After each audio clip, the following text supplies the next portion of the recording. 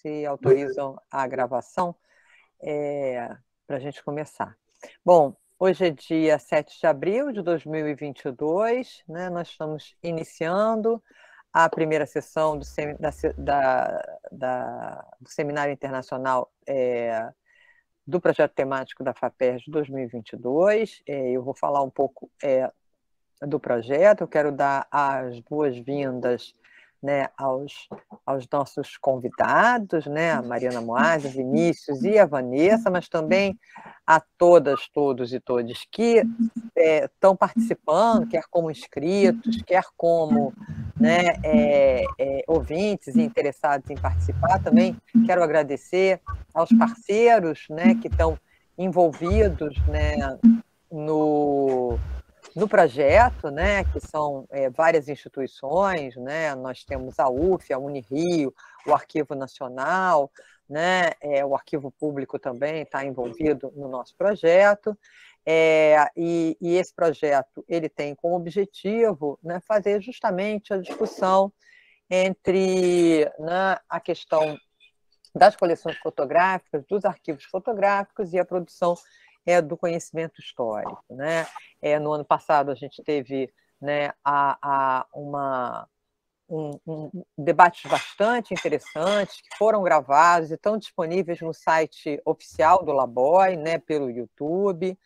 Então, é, é possível é, vocês reverem os debates e a ideia da gente, né, no, ao final desse ano, é justamente né, estabelecer né, uma, a possibilidade da gente tornar essas conferências né, em, em um livro, né, talvez até é, na modalidade de e-book, que permite uma visualização melhor das imagens. Mas isso aí é um projeto que a gente vai é, colocar é, na rua mesmo, né, um desdobramento do, do, do projeto FAPES, mas a gente vai vai estabelecer também um cronograma, uma chamada de trabalhos, né, para aqueles que participaram, com o cronograma, tudo direitinho, mas mais no final do ano. Né?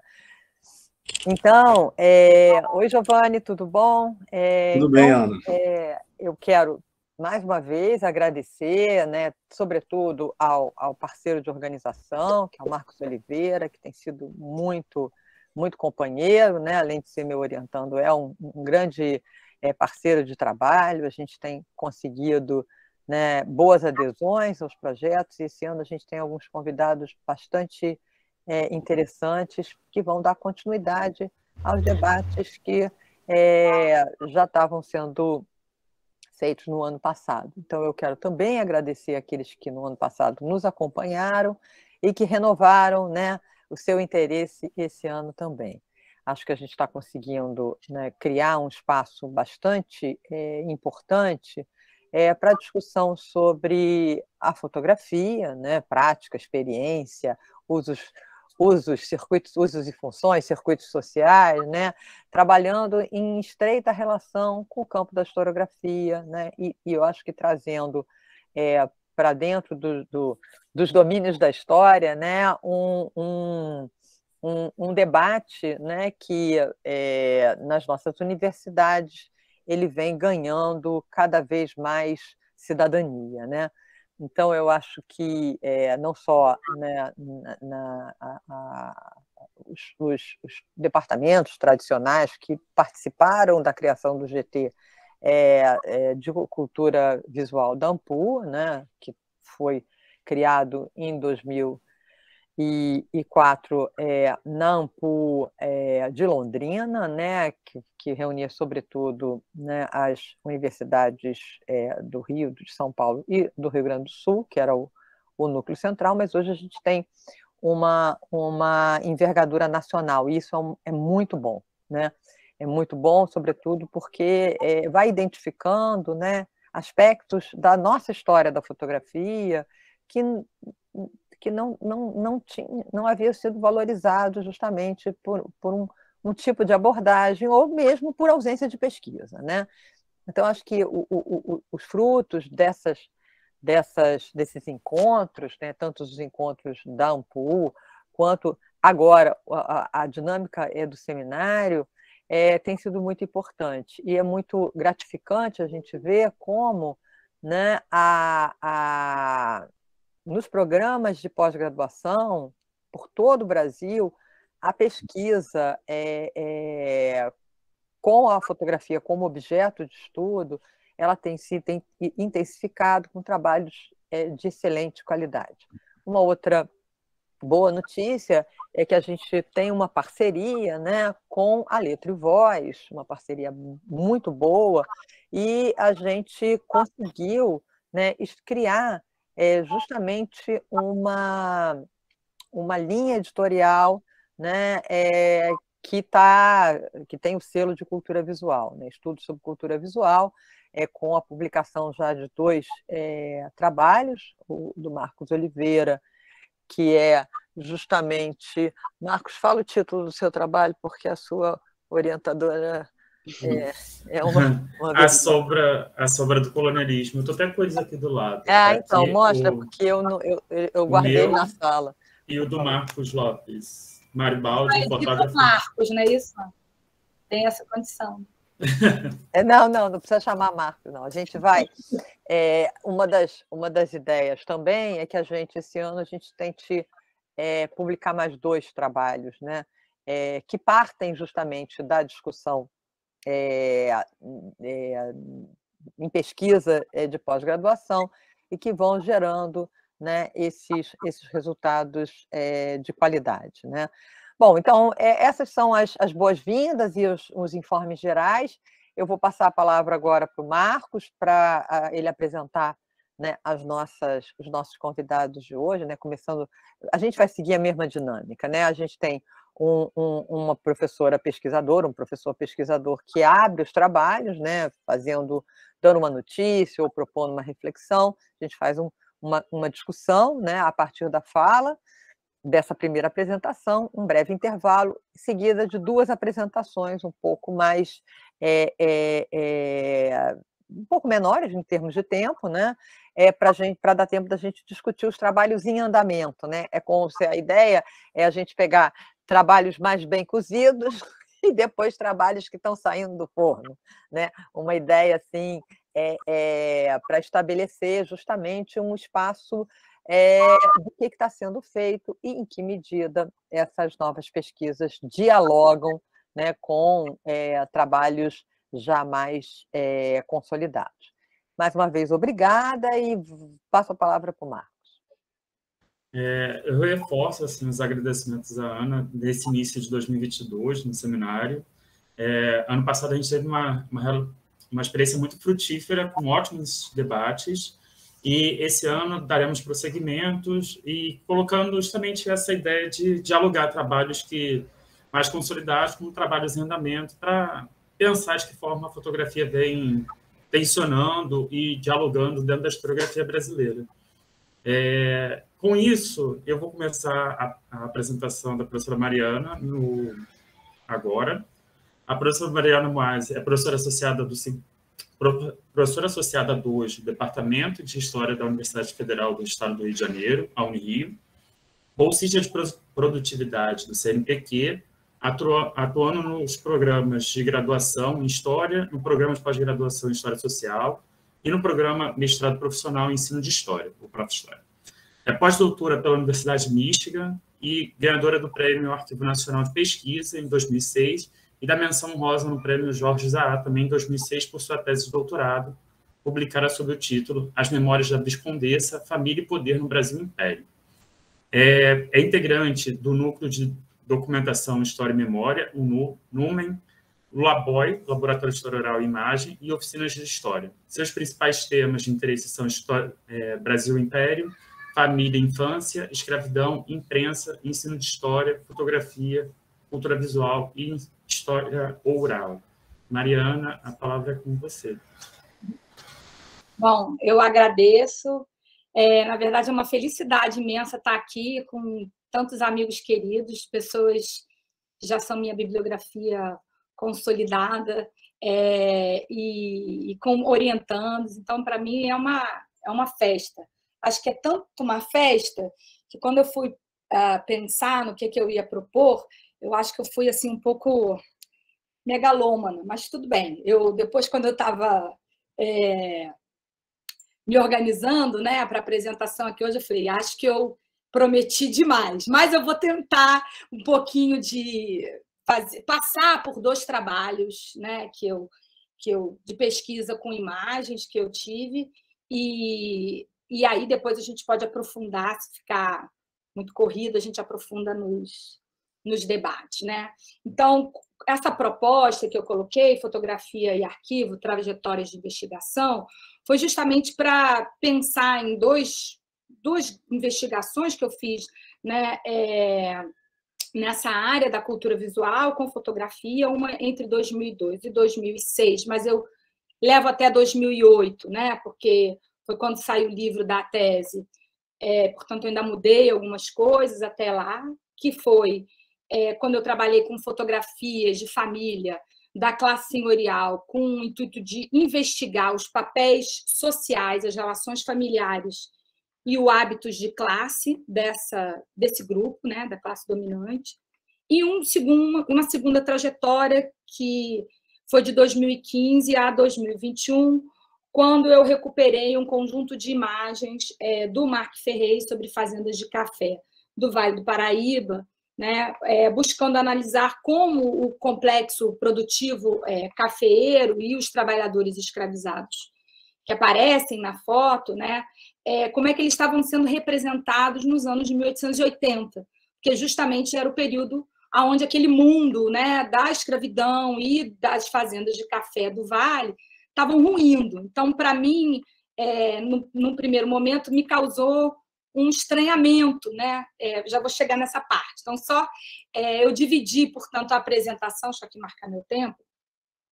É, eu dividi, portanto, a apresentação nessas, nessas duas trajetórias. Né? Então, se eu passar um pouquinho rápido, depois a gente volta nelas. Né? Na verdade, essas temáticas elas também se entrelaçam com as minhas pesquisas atuais, que é sobre é, escravidão doméstica, maternidade escrava. Então, eu vivo, estou nesse, nesse momento de coleta, da montagem da minha, da minha série, onde eu estou escolhendo ainda as imagens que eu, que eu vou trabalhar nesse novo contexto. Mas então, vou ficar com os antigos. Né? Então, vou pensar nesses dois percursos. O primeiro percurso, né, eu, eu organizei três perguntas básicas né, para falar dessas, desses dois percursos. Uma pergunta é como eu cheguei às fotografias né, é, de uma ou de outra, né? Ou, ou, das fotos de família ou das fotos do, é, das fazendas. A segunda é como eu tratei esse conjunto documental. E a terceira é o que essa série fotográfica que eu montei, o que, que ela me permitiu entender daquela sociedade, né? daquele, então, começando pela, pela primeira, eu vou compartilhar aqui, que eu também me empolguei nas imagens. Então, vamos lá. É... O que eu faço aqui mesmo, hein, gente? É guia? É, você vai é, compartilhar uma janela. Uma janela, tá. Vou abrir primeiro, né? Aí eu vou numa janela, não é isso? Isso. Espera aí. É, compartilhar. Mas só está aparecendo a gente. Por que, que não está aparecendo a outra? Está aberta no meu computador a outra. Botei até é, Você abriu a sua seu PowerPoint numa janela ou você abriu, ele está ocupando a sua tela inteira? Acho que agora ele está abrindo. É possível que o apresentador do Google não tenha conseguido gravar a tela do seu computador, as preferências do sistema. Dispensar. Você tem Mac, não tem? Tenho. Será que é isso? Não, não é. Você vai fazer o seguinte: você vai abrir o seu, é, o ah. seu Keynote. É, abrindo o seu Keynote, você vai, que que... da mesma forma que você não tem o Keynote Speaker, que é o PowerPoint? Tem. Você vai ali e vai, vai dizer assim. Ah, é, não, eu tenho o PowerPoint do, do, do Word. Daquele ah. pacote do Word. É, porque senão eu dava o meu teu, o passo a passo. Mas a ideia é abre ele. Eu, peraí. Uma janela que você falou? É, abrir uma janela.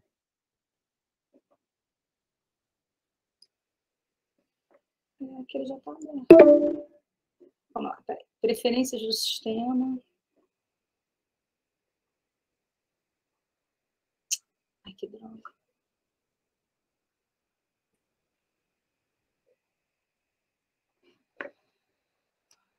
Nunca tinha tido esse problema antes, sempre compartilhei.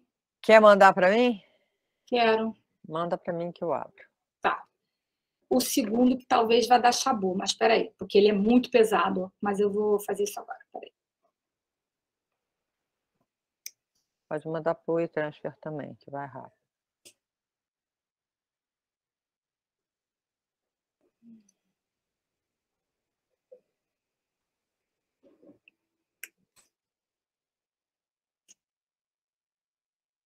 A gente, desculpa. Devia ter testado isso antes, né? Não, faz mal. É, é, não é Gmail, eu estou mandando para o Gmail, tudo bem? Tá bom.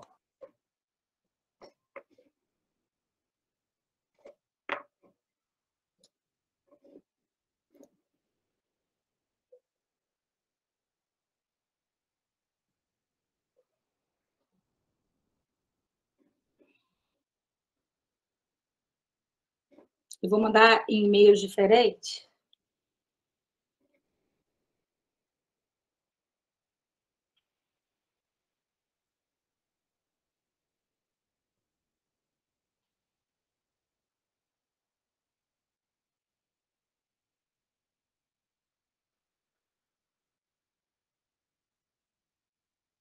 Já mandou, Mariana? Tá indo, aqui ele está precisando do Google Drive. Quer passar alguém na minha frente, então? Será? Para a gente não ficar. Não, precisa não, Mariana. A gente espera um pouco. Tá indo. Tá. Qualquer coisa, se você quiser falando enquanto tá. Bom, tá.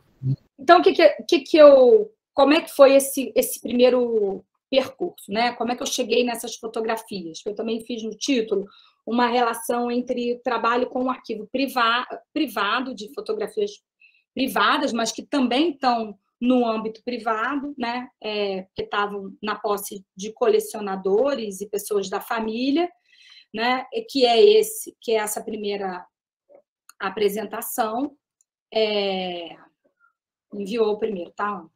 E uma segunda, né, que é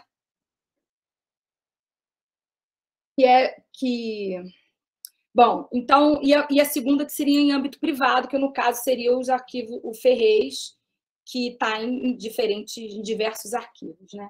Então, eu comecei a pesquisa, a princípio, pensando em trabalhar com três famílias da classe senhorial, é, e quando eu fui atrás dessas imagens, né, eu já, é, já tinha, quando eu fui atrás das imagens dessas famílias aristocráticas do café, é que eu acabei.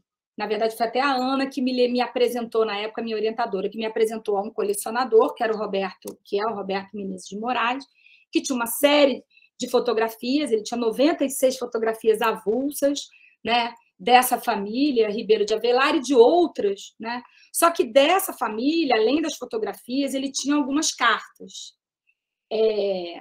Então, eu me interessei justamente por esse, por essa coleção de imagens, porque ela eu, eu conseguiria também acessar né, a, a escrita de, de, cartas, né, aonde eu poderia, já que a minha, meu tema também é, era correlatamente era as relações familiares, eu poderia acessar essas relações via a, a, as epístolas, né, as cartas. Então, eu comecei a ler essas cartas, a trabalhar com essas imagens, a constituir essa série, né, a pensar no circuito dessas, dessas fotografias, enfim. Só que eu tinha um problema, né? Que era como trabalhar com as relações familiares se olhando as imagens eu não sabia quem era quem, né? Quem era mãe, quem era filho. Então. Gente, eu, eu não estou ouvindo Mariana falar. Não? Não. O microfone também não está? Desliga, Vanessa, sai e volta. Ah. É... é, porque tá, tá, Estamos ouvindo perfeitamente, Maria. Então, eu, Isso. eu fiz essa, essa primeira busca, né? e aí também fui construindo um outro conjunto documental, que é o conjunto documental que está no Arquivo Nacional, de documentos relacionados à, à própria fazenda. Né? É, e a- no meio dessa pesquisa, eu encontrei um livro, um quadro do, mesmo personagem das fotos, né, que era o Barão do Capivari, um deles, um- uma dessas fotos estava reconhecida, né, estava dizendo assim, quase cedido, dona é, Ivone Barros Franco, então eu fui atrás dessa mulher e ela tinha dois álbuns. Então, quando a Ana puder ir, né, é, eu então juntei os álbuns com as fotos avulso, com as cartas, e comecei então a trabalhar né, numa perspectiva da história, né, pensando que é, essa família, né, as relações familiares que, gente, que eu conseguiria vislumbrar a partir desse conjunto é, documental, eles esta, estavam circunscritos dentro de um limite de uma certa cultura, né, é, e, que, e que esse limite ele era compartilhado dentro dessa desse, dessa classe senhorial e, portanto, eu poderia trabalhar né, é, com a, a microanálise. Uma outra decisão assim metodológica que eu tomei foi tratar esse conjunto como uma coleção. Né? É, então, eu tomei, ao, ao, estudar essas imagens e ao estudar os álbuns e a, as cartas, né, o que me, me, eu comecei a verificar é que, por exemplo, as cartas tinham tanto a ida quanto a volta das cartas. Né? Eram cartas que a Viscondessa de Ubá, que se chama Mariana Velho de Avelar, trocava com os pais, trocava com os filhos, alguns filhos quando estavam fora. Então, tinha a ida das cartas e também tinha o retorno. Né? É, é, e aí eu falei, ué, mas se ela guardou as cartas que ela recebeu, como é que ela tem as cartas que ela enviou? Né? Então, você, eu fui percebendo ali um esforço de construindo um conjunto, depois do falecimento da mãe, depois do falecimento do pai e dos filhos, porque eram aquelas cartas né, dos filhos que ela perdeu ainda jovens, né, aonde tinha esse retorno, tinha essa organização desse conjunto, né, é, e o álbum, né? O álbum também é, foi muito característico, uma certa narrativa visual, né? Instituída através desses álbuns. Então eu comecei a trabalhar com ela, né? Com a ideia de coleção, né? Ou de colecionador, né? Pensando aí um pouco também no Benjamin, né? Quando ele fala nesse esforço de colecionar,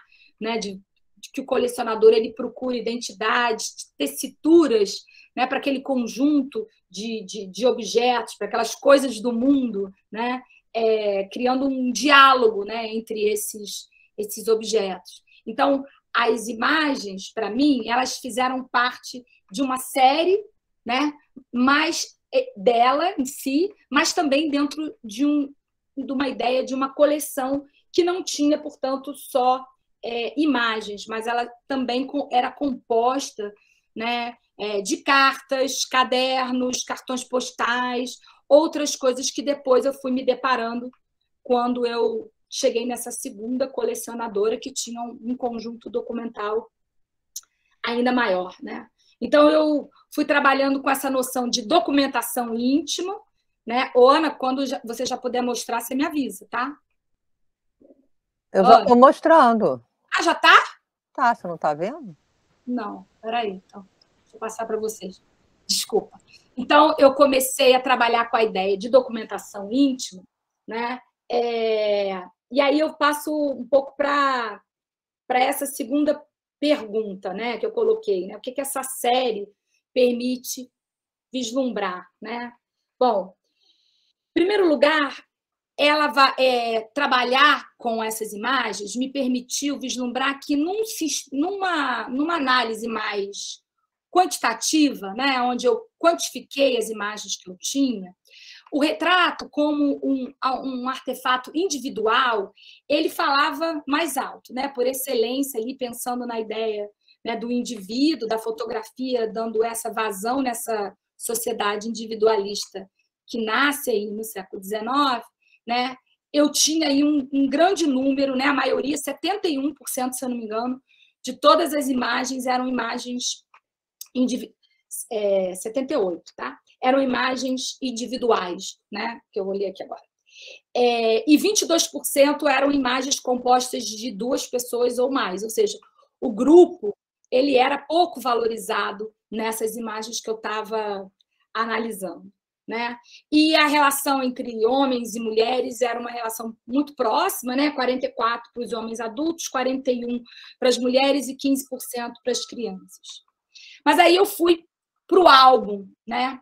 É, e o álbum, o que eu coloquei aí, ele tá na ordem do álbum, tá? Justamente na ordem. Então, se puder voltar um pouquinho, Ana, o que, o que me causou estranheza, passa, esse álbum grande, tá? Abrimos, a primeira foto do álbum era uma foto do imperador, né? No formato maior, que é o cabinet, né? O cabinet size era o maior, né? Uma foto dedicada. Na, na página seguinte, pode passar, por favor. Na página, nas páginas seguintes, de novo formato maior, né, que ocupava uma página inteira, a página 2 com outra foto do imperador, a outra página seguinte uma outra foto da imperatriz. A gente está sempre falando, bom, mas os álbuns de família, né, os álbuns de família, e eu comecei a folhear aquele álbum, falei, nossa, diferente, né? É, pode passar, Ana. Então, a minha ideia é que eu, por isso que são todos esses slides, é vocês irem um pouco acompanhando a própria narrativa do álbum, porque foi isso que me fez conjugar essa questão mais quantitativa, individualizada das imagens e pensar ela, elas no conjunto, né? Novamente, depois as páginas subsequentes não eram páginas da família da Viscondessa, né? Mas da família imperial que era uma família muito próxima deles. Né? É, a, a, a mãe da Viscondessa foi é, dama de companhia é, da imperatriz, ela mesma, é, a filha dela era uma amiga né, da princesa Isabel, né? então tinha ali uma relação íntima entre a família que eles queriam deixar muito demarcado e configurado a partir das escolhas que eles colocavam no álbum. Né? Muitas dessas fotos eram dedicadas. Pode passar. Novamente, quer dizer, não era só a, a, a família é, imperial mais ali, de, a comissão de frente, né? o imperador, a imperatriz e as princesas, mas também a irmã do imperador, é, é, enfim, outras. A, a, família mais extensa do imperador também. Né? É, pode passar. Aí sim, né, chegava na família da Viscondessa. Né? E era muito interessante essas duas páginas, porque, de um lado, era a família dela, e do outro lado, a família do marido. Né? É, muitas dessas pessoas não, não, não tinham, pelo menos, ou não, não fizeram fotos em estúdios caros é, e e reconhecidos, né? Só tem aí foto, a foto da mãe dela num, num estúdio é, no Rio de Janeiro, né? Os outros são todas fotos de um fotógrafo itinerante que a gente vai chegar nele já já, né? Que é o Ramos. E uma outra é um, uma foto de, um, de, um, de uma pintura, né? Para que o pai dela pudesse ser é, representado no álbum de fotografia. Então, o que eu fui pensando, né, a partir dessa narrativa visual do álbum organizado por ela, é, é, é, dona dessa coleção mais vasta, que não era só de fotografias, mas que tinha uma grande quantidade de fotografias, até para a gente pensar né, é, no quanto se tinha de fotografia na época, uma família abastada, como era o caso, né? É, eu comecei a ver que a, fa a, a, a família extensa, né, ela não estava de fora da narrativa, né? Nem a família extensa do imperador, nem a família extensa da própria viscondessa, né? Então toda aquela é, aquela coisa que a gente estuda, historiografia, que debate, a questão da família, do patriarcalismo, que vai começando a, a, a nascer a família nuclear, papapá, já no 19, né, a narrativa visual já me, me fez botar um pouco o pé no freio, assim, com, com essas afirmações, no sentido de que essa nova organização familiar ela vai, durante um tempo, ser conciliada, né? ser, é, dialogando também com uma tradição de família extensa que pensa nos primos, nos filhos, nos, nos patriarcas. Né? É, agora, como eu estou vendo pequenininho, eu não vou conseguir ler aí direitinho todo mundo, mas é, é, é isso, né? São os, são os, patri, os, os, é, os patriarcas, as matriarcas do lado dela e do lado do, do, do marido, né? Pode passar. Quer que eu leia? É porque eu acho que aí, se as pessoas devem estar vendo numa tela maior, é, eu estou falando quem é quem, né? Eu estou dando. É o pai dela, o conselheiro José Maria, a dona Leonarda, é, depois ela e o marido, né? É, é, Mariana e Joaquim Ribeiro de Avelar, e de outra, da Viscondessa sozinha, no estúdio do Joaquim Isley Pacheco, é, tirado no mesmo dia de que a fotografia da mãe. Na página ao lado, as fotos do Barão de Capivari, patriarca dos Ribeiro de Avelar, e o pai do Visconde Ubá. Sua irmã, outra do Barão, e a última é de Joaquim Mascarenhas Salter. Todas as fotografias foram tiradas pelo fotógrafo itinerante Manuel de Paula Ramos, em uma das ocasiões em que estivera na fazenda. Ao posar o álbum sobre a mesa ou o colo, quem o visualizava podia ver qualificado ao mesmo tempo as principais personagens das duas casas familiares. À esquerda, os velhos da Silva e à direita, os Ribeiro de Avelar, que se uniram através de Mariana e Joaquim. Ah, legal. É. Então, pode, pode passar a próxima. E aí continuava, né? Essa nessa narrativa, né, acompanhando as páginas, continuava esse vínculo, né, que, que, que ela queria colocar, né, é, bem sólido, né, é, com a família imperial, né? E aí entrava um, um, uma, um, uma narrativa de maternidade, né? Da maternidade da princesa Isabel como aquela que abria. Então, novamente, eu estou pensando nesse diálogo aí, né? Do que está falando sobre a família. Então, o lugar da mãe, da mulher também, né?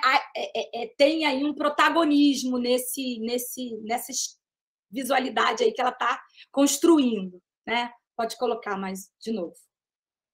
A próxima mãe é a filha dela, né? A filha dela, que é a Júlia Lengruber, com os seus filhos, né? Tanto a foto da princesa Isabel como essa já são imagens é, de, é, posteriores, né? É, e tiradas em, em, estúdios internacionais. Então, de novo, ela está aí é, dialogando, né, em essa questão com das, da mãe posando com, com os filhos. Vai, posso, posso passar, por favor. A Mariquinhas, que é a, a primogênita né, da família, ela está posando com a princesa Isabel, ela é a dama de companhia da princesa Isabel e ela não teve filhos, né? Então tem aí essa, essa foto que forma um coração entre as duas, né? Que são consideradas assim melhores amigas. É, é, ela vai para o exílio com a princesa Isabel, mas isso aí é uma história que eu já contei depois. Mas, enfim, essa foto também dedicada, né? Então entra aí essa. Eu vejo um pouco da mulher, mas essa mulher no lugar de quem cuida, ela cuida da princesa, né? A princesa cuida dos filhos, a filha cuida, né? Então pode passar. É... Aí volta, né? O casal imperial, o casal é, imperial também, né? Dos príncipes e aí a princesa Isabel acompanhada do filho, né, é, numa página, e na outra uma foto é, dedicada, né, é, essa aí é a dedicatória, aonde o Conde de... dedica a foto, né, é, para o, o, o, o, esposo dela, né, o Joaquim. É, então, novamente, é, essa proximidade. Pode passar, pode passar. Bom, e aí eu, eu, eu fiquei pensando, né, quer dizer, o que, que se fala, né? primeiro fechando essa questão da, da, da família, né, que foi a primeira coisa que eu consegui pensar dessa, dessa escrita visual assim do álbum, né? Que era justamente essa questão da importância da família extensa, da importância da família, mas ao mesmo tempo a incorporação de alguns discursos que são próprios do século XIX, principalmente desse em relação ao lugar da mulher como mãe né, ao lugar da criança como protagonista também, porque se a gente for pensar também no conjunto do álbum, não só na sequência, mas no conjunto do álbum, né, tem muito, muitas crianças, principalmente se a gente for comparar quando quando aparece só as fotos que estão fora do álbum, né?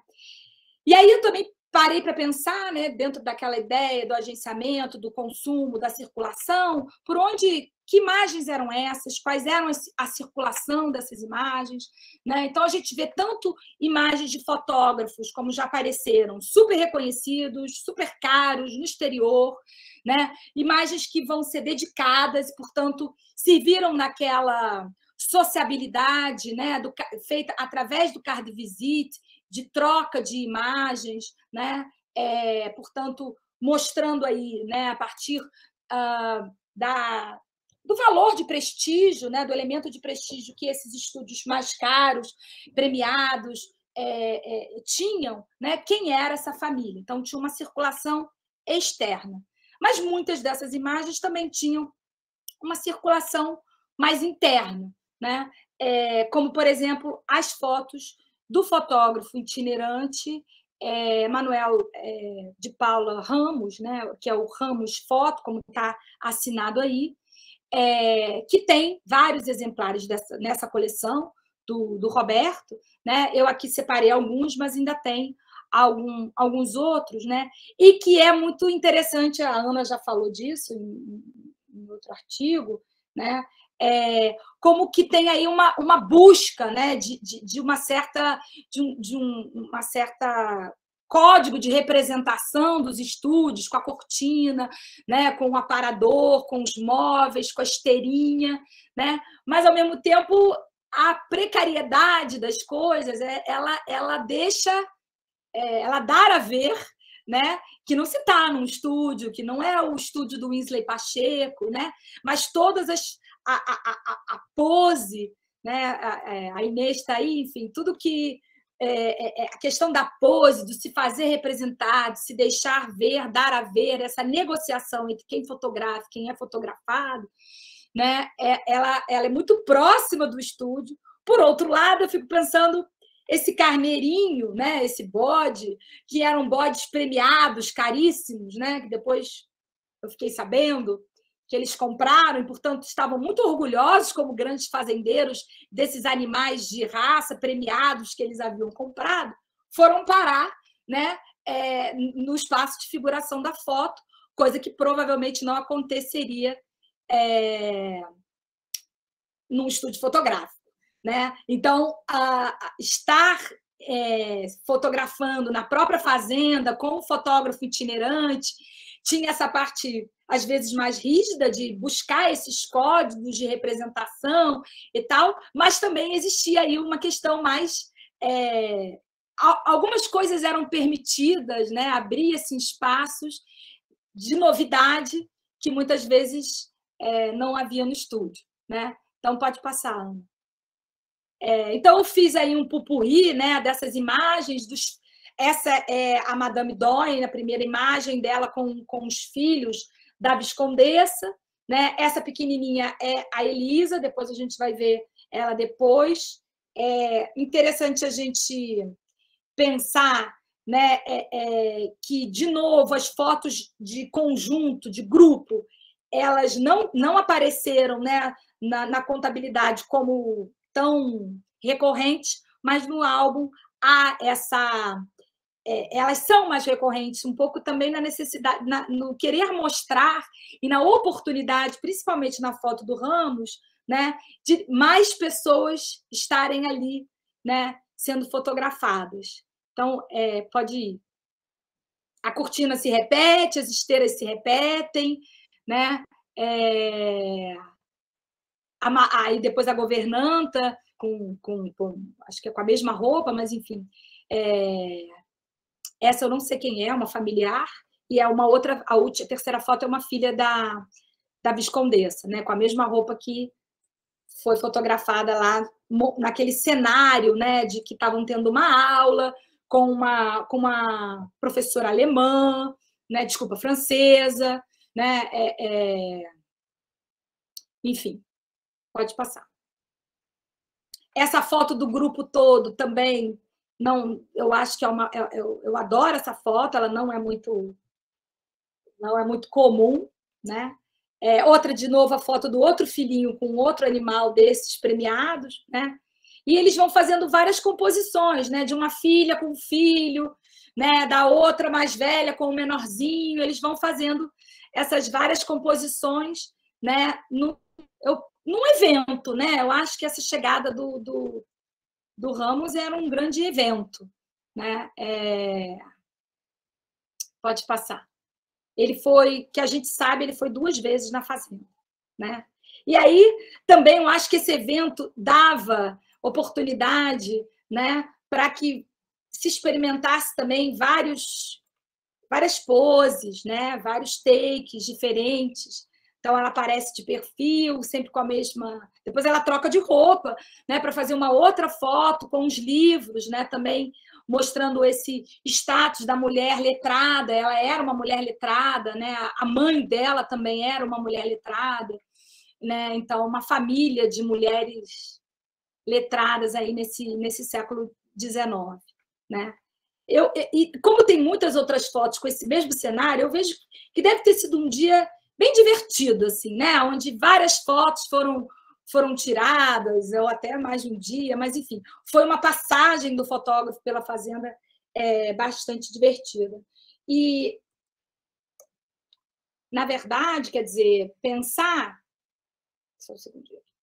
Pensar é, que essas imagens, portanto, tinham esse tom, é, elas tinham uma circulação menor, assim, né? Não sei, não acho que elas eram aquelas fotos que você vai trocar, né? Essas outras eu acho que serão as fotos eh, dos estúdios premiados, etc., pelo próprio valor de prestígio, né? E representação que é, é que essas imagens carregavam, né?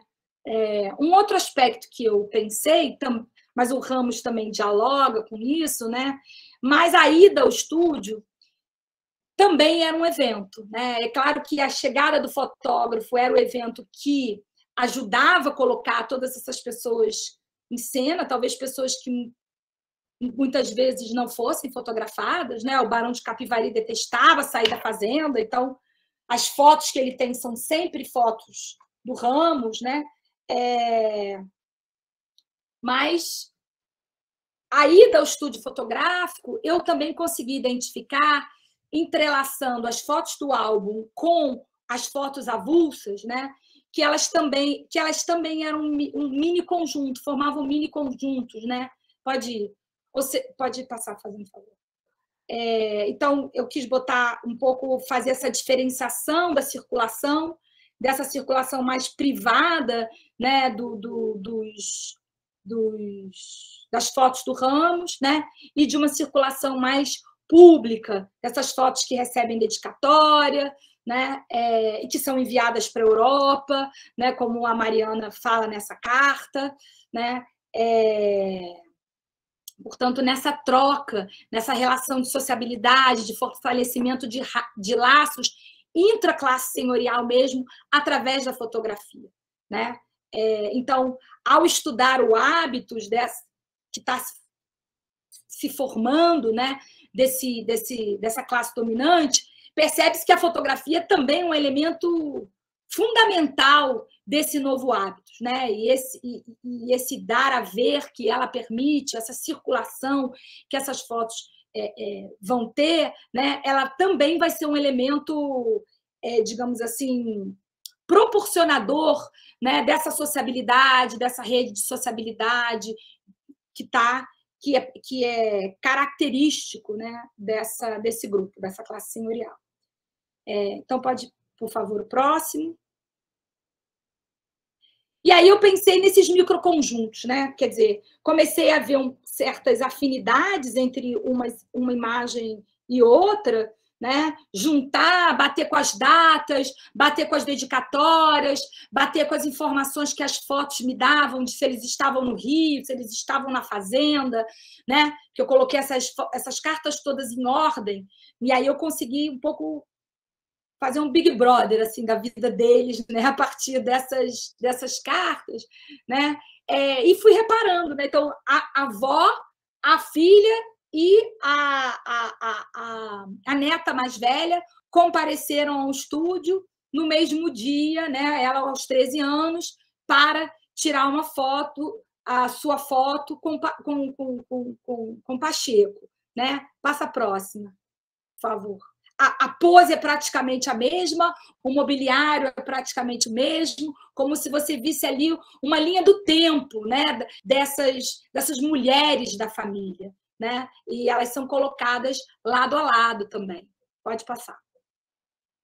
Mas não foram só elas que compareceram ao estúdio, ao estúdio nesse mesmo dia, né? O irmão da Mariana também também compareceu e outros três filhos, com exceção da mais nova, também compareceram, né?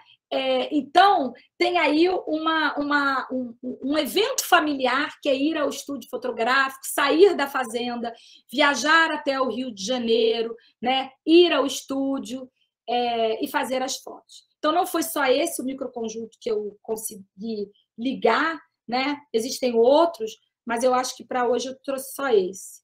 Pode passar, Ana, por favor. Bom, Aí, dentro desse hábitos, né, é, dessa classe senhorial, onde a fotografia vai cada vez mais ganhando um protagonismo, né, foi possível também identificar, é, cruzando as cartas com, com as imagens, as datas, etc., né, algumas cerimônias que passaram a ter um valor cada vez maior, né, mas um valor representacional, onde não era mais possível, digamos assim, só noivar. Você tinha que noivar e mostrar a sua foto, né, do quando você tinha noivado, né? Então, foi possível ver, por exemplo, a, é, é a Mariquinhas, que vai né, casar, mas nesse momento aí, né, eles estavam com um casamento agendado, né? Então, os dois compareceram antes do casamento no estúdio fotográfico para fazerem essa uma imagem antes do, do, do, do casal, né? Ela tem mais de uma imagem desse dia, mas enfim, eu fui colocando isso um pouco como é que esses ritos né, de cerimônia, de passagem, vão sendo marcados também através da fotografia. Já a irmã dela, que é aquela menininha pequenininha que a gente já viu na cadeirinha, né, é, aparece depois de casada, comparece ao estúdio fotográfico com o esposo para também tirar uma foto. É, pode passar.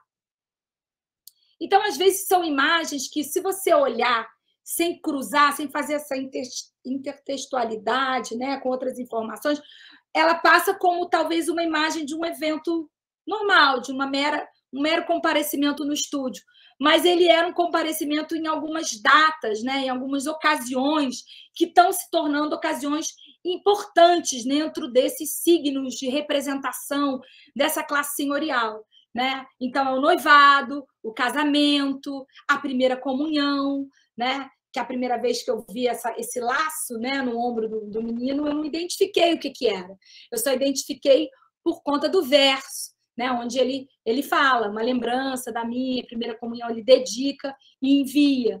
Né? É, a noivinha já é, a mini noivinha já é mais fácil, porque foi uma indumentária que se manteve né, até o século XX até. Né? Então, esses, essas cerimônias elas também vão sendo incorporadas, digamos assim, né, com esses ritos de passagem dentro, né, é, é, é, como momentos de se de se deixar fotografar, né, de, de, de guardar uma memória, né, como você era, etc. É, pode passar. Essas fotos, mesma coisa, elas são fotos que você pode dizer que é de um momento normal, mas são fotos de, do primeiro ano, é, é, é do, da, desculpa, da data de formado de cada um. Né? Um filho se forma em 82, o outro se forma em 85, e vão é, se, se, se deixar fotografar. Né? Então, é isso, como é que algumas cerimônias vão tomando valor, né? É, e a fotografia vai acompanhando, é, pensando naquilo que o Norbert Elias fala, né? Que muitas vezes o ser tem que é, se igualar ao parecer, né? Então, ser formado tem que se igualar ao parecer formado, né? E a fotografia ajuda dentro desse, é, desse dentro desse processo, né? É, pode ir, por favor.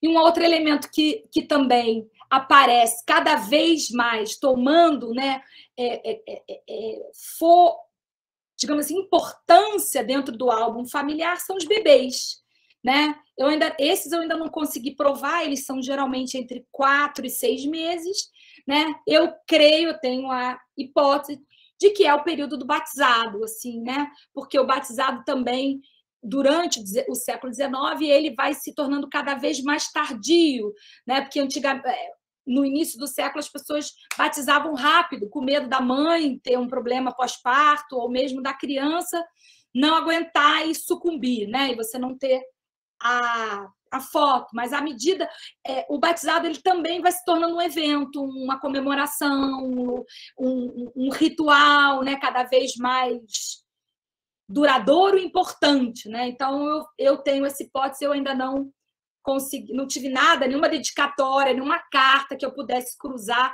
mas eu tenho essa essa hipótese porque são vários bebês, né? Ela tem, eu botei esses aí, mas ela tem mais alguns. Não é aquele do meio que está amarrado? É o do meio está amarrado. é, isso também é, é, algo que a gente, que também, né, Ana, a gente já discutiu muito. Por que, que a mãozinha esse, e o esse bebê. Esse bebê amarrado já me deu, já me rendeu muita aula boa com o bebê amarrado. E a cara do, a cara do bebê tá. É, é, bebê tá amarrado é tudo da vida, é, né? É.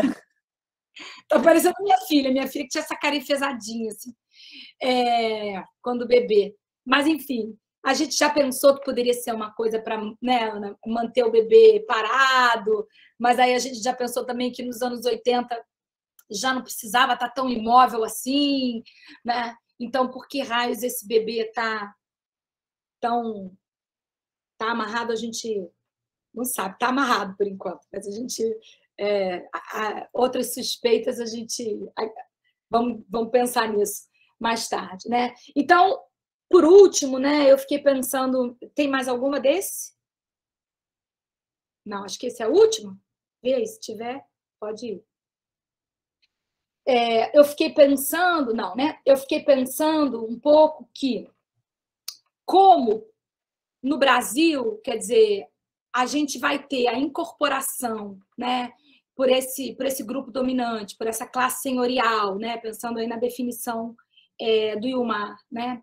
De vários, uh, várias formas de comportamento da, e, vários, e várias formas de consumo, né? é, burgueses em ascensão na Europa, né?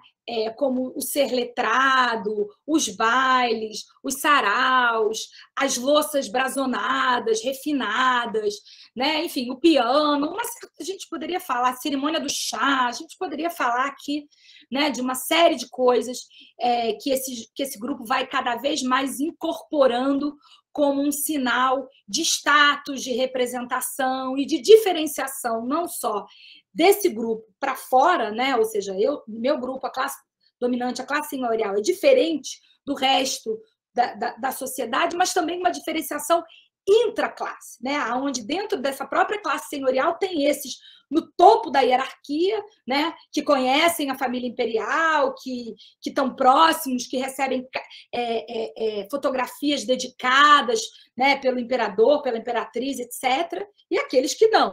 Né? É, então, esse grupo ele incorpora esse hábitos juntamente, esse hábitos dito civilizado, né? Just, juntamente com, essa, com esses elementos de consumo, de classe, no entanto, não abre mão né, da escravidão, que era aquilo que lhe dava estofo econômico, né, e também a importância política. É, então, é por isso que eu vou. Hoje em dia, eu trabalho com a ideia de um hábito senhorial escravista, né, que é o hábito da classe senhorial é, isso não está nessa pesquisa, mas é como eu me reporto a isso atualmente, né?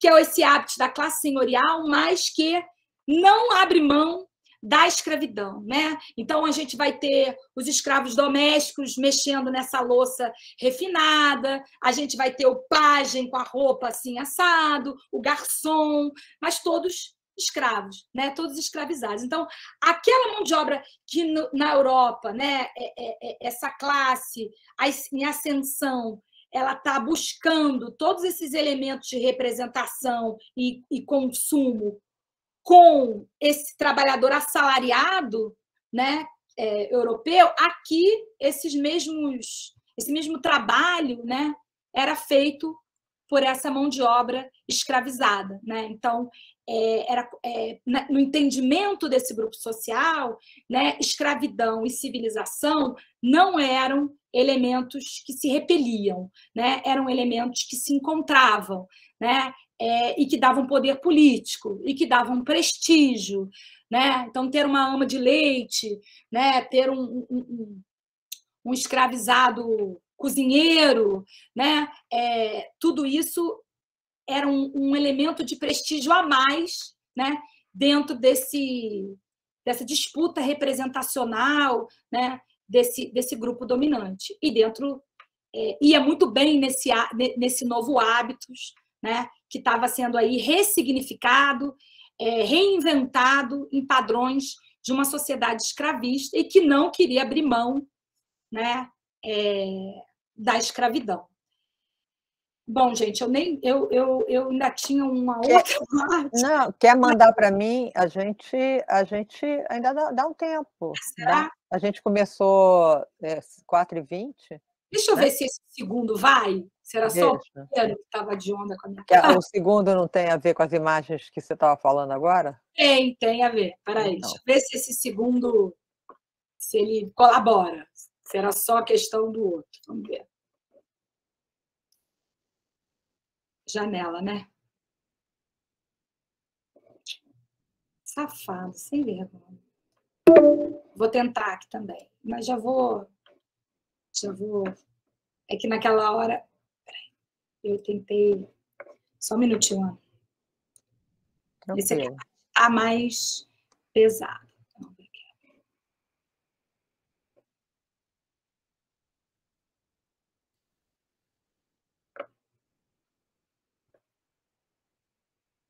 Estou mandando. Ele vai, ele vai. Tá indo. Mas enquanto, enquanto ele está indo, eu vou falando um pouquinho, só para a gente não perder tempo, né? Então, enfim, era um pouco essa conclusão, né? É, que eu parti de um percurso de um arquivo privado de, coleção, de coleções familiares privadas, né? E fui montando, portanto, essa série visual, mas também trabalhando com a ideia de coleção e fazendo essa essa rede, né? Essa tessitura, né? entre, entre o escrito e, e, e a imagem. Né? As fotos de fazenda, por outro lado, né, do Ferrez, que talvez eu consiga abrir aqui hoje e mostrar para vocês, mas enfim, é, elas são fotos que estão num arquivo é, privado, né? Na verdade, estão em diferentes, desculpa, público, em diferentes arquivos públicos. É, eu, eu, eu esbarrei com uma dessas fotos justamente estudando fazenda, essa fazenda, né? vendo se tinha foto da Fazenda Pau Grande nessas fotos, mas a primeira vez que eu vi, elas estavam perdidas em, em fotos, em livros sobre fotografia no século XIX. Depois, eu comecei a ver uma maior profusão dessas imagens, e eu hoje em dia ainda não chequei exatamente, mas eu, eu tenho como hipótese, ainda tem que averiguar, que foi justamente porque quando Moreira Salles compra essas imagens em é, a coleção do, do Gilberto Ferreira em 1998, ainda demora um tempo né, para que aquilo que era negativo de vidro pudesse ser revelado, pudesse ser organizado e depois pudesse começar a ser disponibilizado. Né?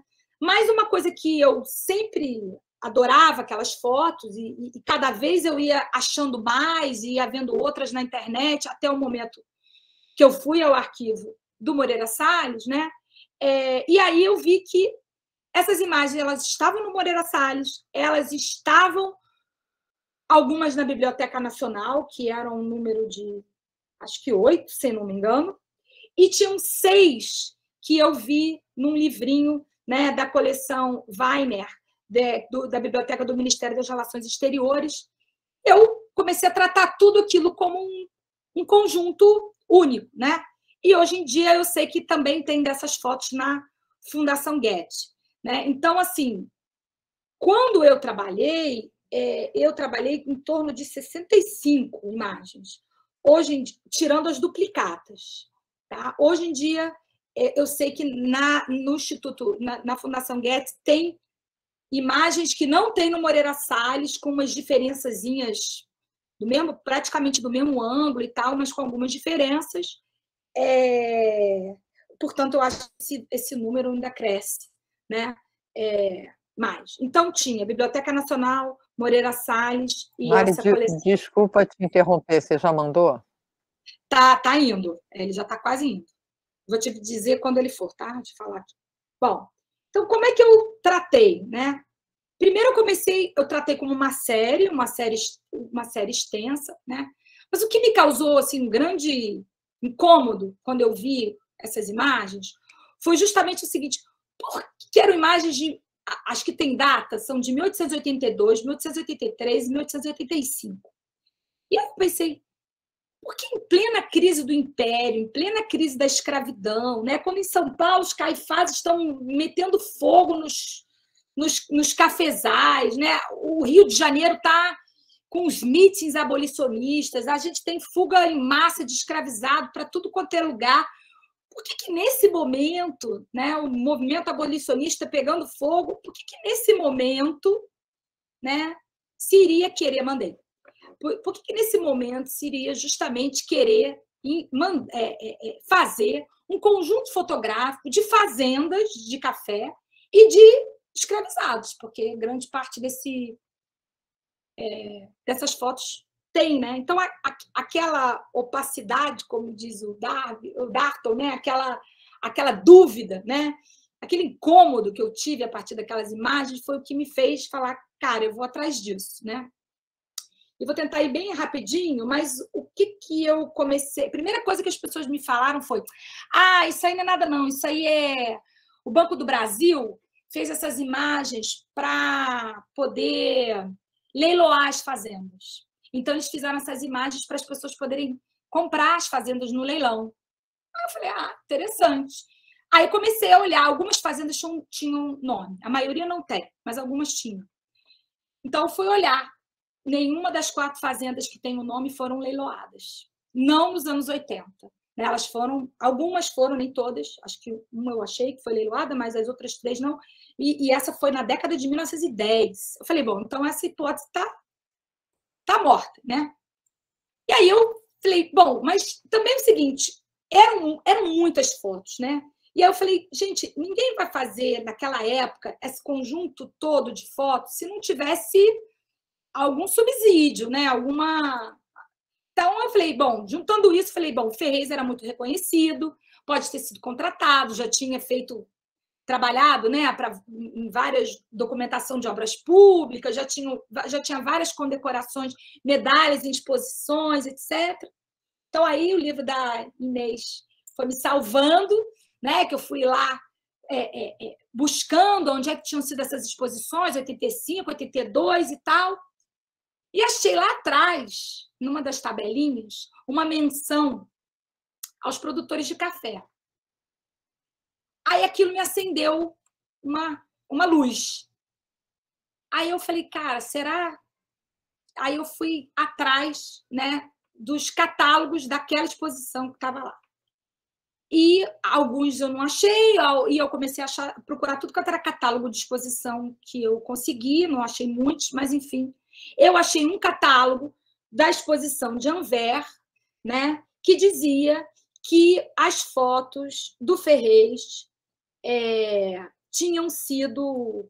É, assim, vou abrir aspas, né? Catálogo de obras expostas no Palácio da Academia Imperial é, de Belas Artes, é, dizendo o seguinte: que, abre aspas, vista de um cafeeiro, fazenda, rancho, pasto de secagem de café, seleção de café, transporte de cafés, né? Que, esse, que essas imagens, ou seja, esses temas, tinham sido expostos na exposição de, de desculpa, eu troquei, falei Anvers não, era Beauvoir na França em 1885 e que essas, essas imagens tinham sido projetadas no sistema Lanterna Mágica para o público é, do evento. Aí eu falei, bom, matei a charada, né? Aí fui nessa, nessa, nessa, nesse catálogo, né? E comecei a olhar, estudar quem é que estava financiando esse a participação do Brasil nesses nesses eventos, né? E era o chamado Clube da Lavoura e do, e do Comércio, que depois eu continuei estudando esse grupo, publiquei agora na Almanac esse ano, falando mais coisas sobre esse grupo, né? É, que vai ser justamente um grupo de cafeicultores é, importantes que estavam querendo projetar, né, aumentar a exportação de café do Brasil justamente no momento da crise. Né? Então, eles queriam ampliar o mercado de consumo. E aí eles vão fazer uma série, agora eu não vou ficar aqui para a gente poder entrar nas imagens, eles vão fazer uma série de coisas, eles vão pegar o patrocínio é, de tudo quanto, várias exposições, e algumas exposições ligadas ao, ao café especificamente, né? Depois da Guerra do Paraguai, acho que a partir de 78, é, se não me engano, eles assumem e, e, financiam, né? E nesse momento, a partir desse momento, o café vai tendo uma participação importante nessas exposições e também nas exposições agrícolas é, mais setoriais, setorializadas, digamos assim, né? Bom, esse, esse grupo que vai aparecer na, nos catálogos, né, como muito como ícones do progresso, nada mais eram do que grandes cafeicultores escravistas ou de famílias escravocratas, né, que já tinham nas décadas de 70 é, trabalhado arduamente nos movimentos anti-lei do ventre livre, né? É, enfim, e que eu passei a imaginar né, que, de alguma maneira, eles pudessem ter é, financiado alguma parte dessa produção, dessas imagens, né, para irem para as exposições. Claro que nem todas, algumas devem ter sido com, é, vendidas e foram, né, como mostra a parte que, que eu vou mostrar já, e quando a Ana conseguir abrir, que estão na biblioteca, não está abrindo, né? É muito hum, pesado. Não, não chegou ainda. Ah, tá. Porque ela é pesada. É... Mas... Os duendes estão carregando. Ah, eu vou fazendo, aí depois a gente. É... E aí eu, eu, eu, eu, passei a trabalhar com essa relação né, do, do, do Ferrez com esse centro da, da lavoura e do comércio e com essa vontade de incrementar as exportações nacionais e internacionais do café. Recentemente eu também vi lá no, no Real Gabinete Português de Leitura, umas fotos que ainda não veio a pandemia, não consegui reproduzir, é, de, do, de, do stand do Brasil, numa dessas exposições, onde aparecem vários quadros e fotografias né, pendurados na parede. Então, eu imagino que fossem algumas dessas imagens, mas não todas, né? algumas escolhidas. Principalmente, aí o que, que eu fiz? Eu separei essas imagens e vislumbrei quatro grandes temas, né? É... Seria bom. Bom, vis, vislumbrei quatro grandes temas, que um foi o que eu chamei de quadrilátero funcional, que é quando aparece a fazenda, o complexo cafeeiro, né, na sua dimensão bem panorâmica, pegando tudo, né? É, a Casa Grande, a Senzala, a, a Tulha, os terreiros, né? É, então, e muitas vezes também maquinário, né? Então, o maquinário dessas fazendas, quando elas tinham é, é, vagões sobre trilhos, sistema de canaleta para remoção do café, lavagem dos grãos, né? Um pouco colocando esse, esse, é, é, essas fazendas como verdadeiras empresas agrícolas, né? Como modernas, como símbolo né, é, é, de alguma coisa de progresso dentro dessa questão agrária, que era como o Brasil se colocava, né, se projetava né, nesse mundo capitalista, tentava, pelo menos, né, em ascensão, burguês em ascensão nessas, nessas exposições. Né? Elas, elas, elas compuseram 37% do total uh, da série. Uma, uma segunda temática que eu, que eu coloquei né, foi a colheita do café barra cafezal. Né? Essa segunda, ela tinha duas grandes formas de representação. Né? Uma que é a que eu acho que deve ser a que foi para fora, né? que é uma visão mais panorâmica do cafezal, assim, é, bem de longe, onde aparece a, a, as árvores, né? E as pessoas meio mimetizadas ali dentro, naquele, naquela, nas pequenas estradas, né? Que ficavam entre, entre os, os, os pés de café e, e outro.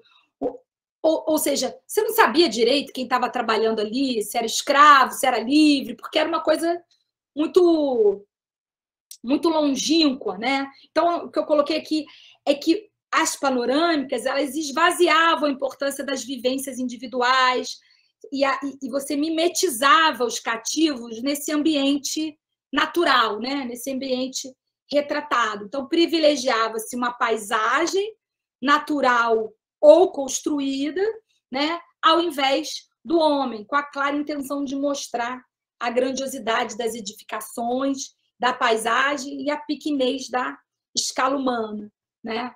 É, portanto, por isso que eu, eu, eu intitulei o, o artigo de escravidão apaziguada, né? porque esses, esses escravizados né, eles aparecem de longe, né? as marcas de violência, as cicatrizes, né, os instrumentos de castigo, tudo isso fica fora da cena né? e fica ali um pouco. É claro que é, fora né, do, do, do, espaço da foto, é, enfim. Mas dentro desse tema, colheita de café e cafezal, também houve algumas imagens mais próximas, né? aonde esses, esses escravizados aparecem num plano médio para o próximo, né? É, e aí esses agentes aparecem, né? É, na sua maioria portando instrumentos de trabalho, esses instrumentos comumente eram cestos, peneiras, escadas, né? mas uma linguagem visual muito próxima do, dos tipos humanos. Né? É, quando ele o próprio Ferrez e outros fotógrafos, como Cristiano Júnior e outros, fotografam aqueles, aqueles tipos de profissão, né? ou enfim. É, acredito que esses podem ter sido imagens que buscavam outro público, né? É, é... E depois eu... muitas dessas imagens viraram inclusive cartão postal que eu consegui achar, é... ou aquelas imagens assinadas pela Ferrez e Companhia que também vão ser vendidas, né? Nas charutarias, enfim, livrarias. Essas imagens, elas eram 32% do conjunto. Depois, a as imagens partida para o trabalho e carro de boi barra transporte, a primeira 13%, a segunda 18%. Né? É, a partida para o trabalho, é, talvez vocês. Enfim, é quando aparece aquele cotidiano da, da fazenda muito marcado, né? a forma antes de ir para o trabalho, muitas vezes na frente da senzala, é, dessas imagens, muitas vezes o senhor ou, ou o administrador, feitor da fazenda, está hierarquicamente à frente ou é, na ponta da, da, da, forma dos escravizados, né? e eles estão é, é, é depois um ao lado do outro. Né? Aparecem grupos familiares, muitas vezes, mulheres com crianças, é, etc. Né? E, esse, e, e, e essa partida para o trabalho tanto a partida para o trabalho, quanto o carro de boi, quanto aquele, aquela segunda forma mais próxima dos tipos humanos é, do tema que eu chamei de colheita do café, né? eles, eles nos a, a, a, proximidade de médio e plano próximo né, ajudam a gente a pensar naquilo que a Ana chamou e que eu trabalhei nesses dois artigos que eu escrevi sobre essa série, é o olhar do retornado, né? Aquilo que estava fora do controle, o olhar retornado, aquilo que estava fora do controle do fotógrafo, né? É quando ele faz a imagem, né? quando ele produz aquela imagem, uma tentativa de apaziguar, de docilizar, né? De miscuir as imagens da violência, né? As imagens é, do que é realmente a vida de uma pessoa escravizada, né? É, e e o que, a expressão do olhar, a expressão dessas pessoas com quem elas, os filhos que elas seguram, né? Que as mulheres seguram, enfim. Então, é, esses temas, eles são bastante significativos para a gente ter esse tipo de trabalho, né? Porque 100% delas é, falam da presença humana, né? É, a presença humana ela é muito forte na, na, na figuração da foto, né? Então, assim, é, mesmo que a gente veja depois, na hora que baixar, vou concluir aqui rapidinho para não tomar muito tempo. Quer dizer, o que eu chamei de escravidão apaziguada, que pode ter sido né, é, é uma, uma forma, um, um, formato de propaganda, né, de enunciação desse mundo da escravidão que estava acabando, né, é, é e do café que estava se deteriorando, né? mas tinha aí uma ideia de, de, tempos que se chocavam, né, que se tensionavam entre esse tempo passado de glória, presente de crise e um tempo de futuro que se queria é, eternizar, né, através daquela imagem que perpetuasse é, aquele mundo é, para frente, né? É, mas ao mesmo tempo essa é, é esse tipo de imagem, né, que vai ser muitas vezes é, a que vai para fora, né, ela a, gente não pode mais ficar exatamente com ela, né, sem saber de onde ela vem. Né? Eu acho que o mais interessante foi pensar que quem estava ali, não o Ferrez especificamente, mas quem estava demandando aquelas fotos, né, é, eram os escravizadores, né? era, era, era o clube da, da, da, lavoura e do comércio. Né? Ela tinha um propósito, ser enviado, fazer propaganda, né? É, é, é, é vender mais café. Né?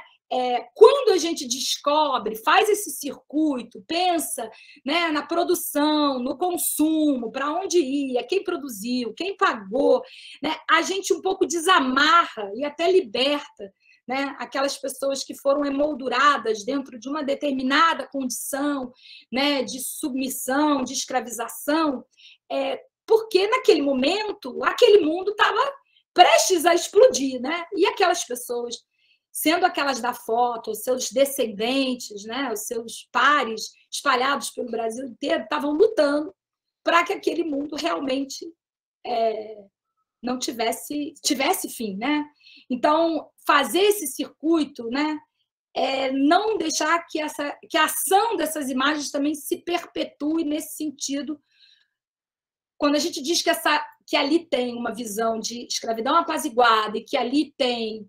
E, e quem contratou e pensou nisso, a gente dá um novo significado, um novo sentido né? É, para aquelas imagens, inclusive na atualidade. Né? Então, fico pensando no meu trabalho atual, como eu quero usar essas imagens para trabalhar com maternidade, escrava, com resistência.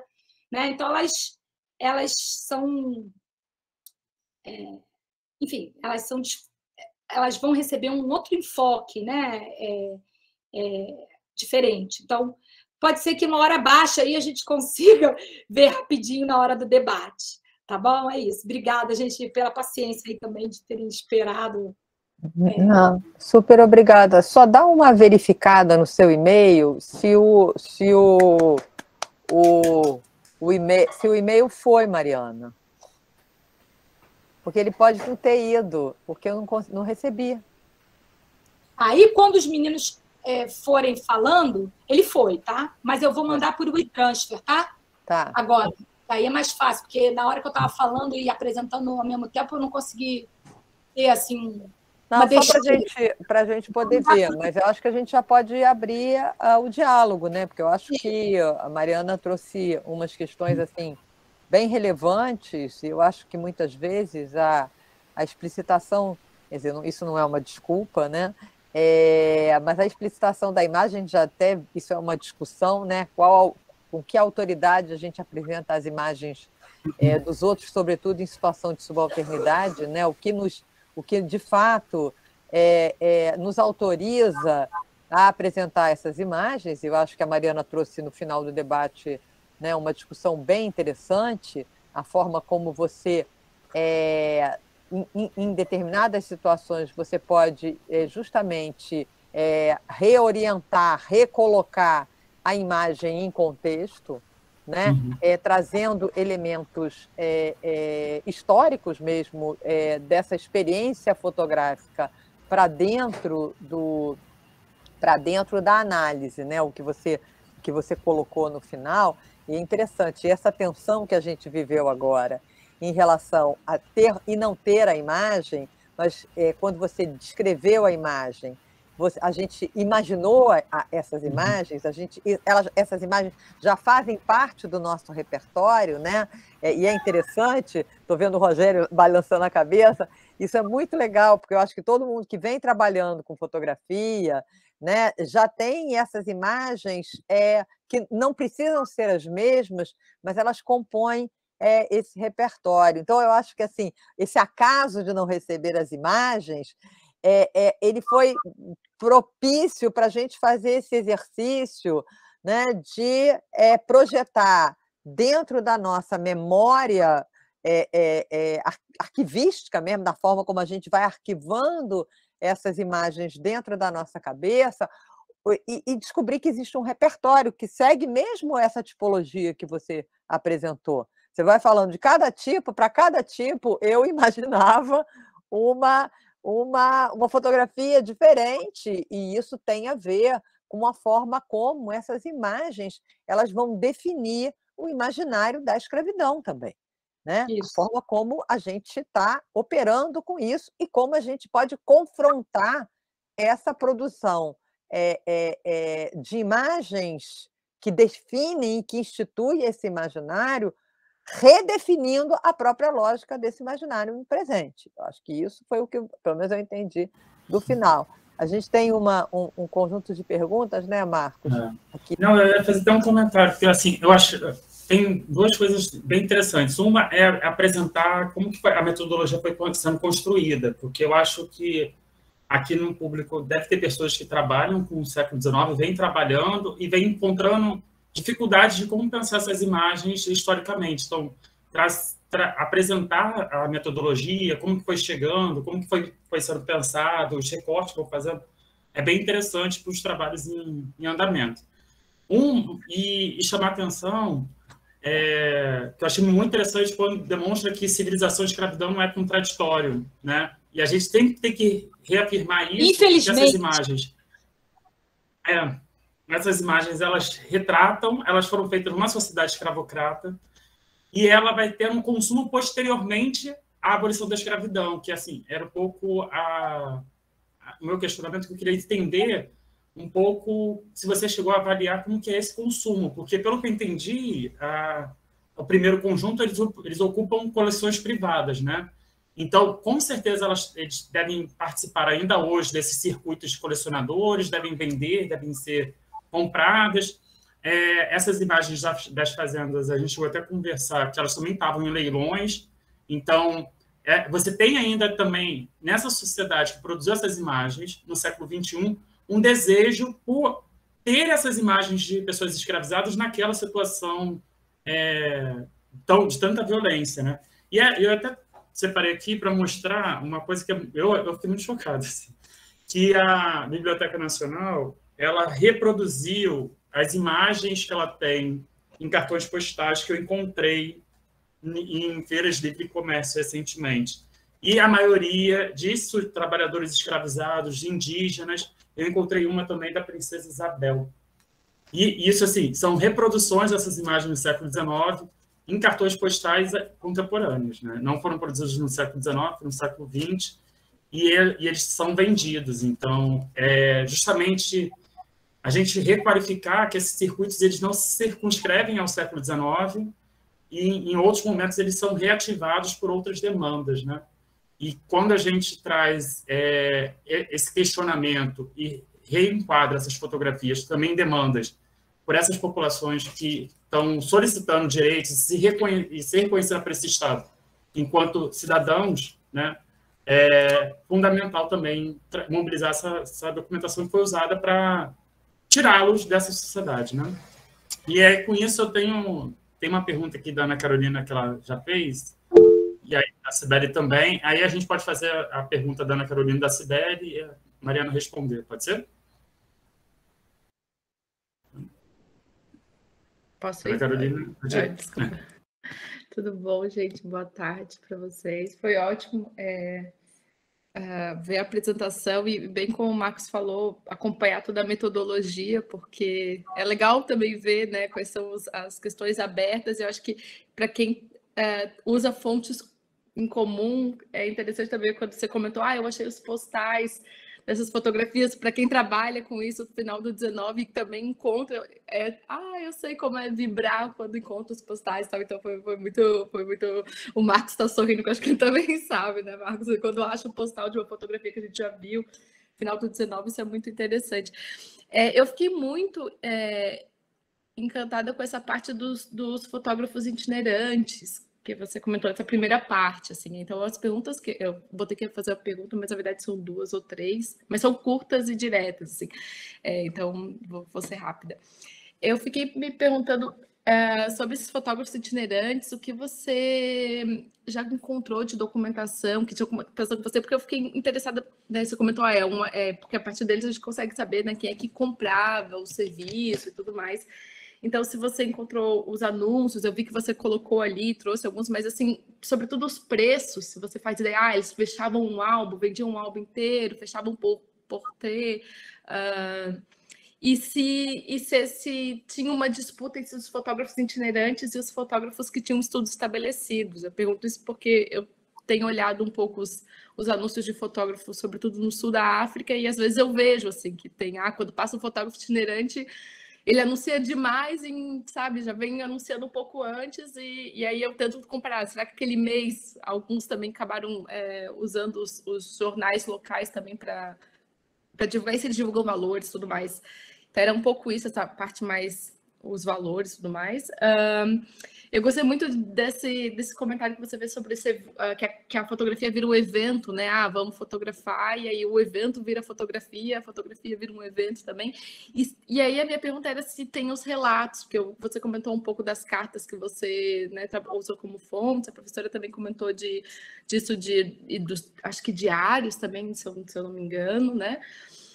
E se, se, há, se há alguma referência a esse momento fotográfico, assim, se em algum momento se referenciar, ou nem que seja fomos ontem bater fotos, tivemos, né? Mas se existe alguma a menção a esse evento fotográfico.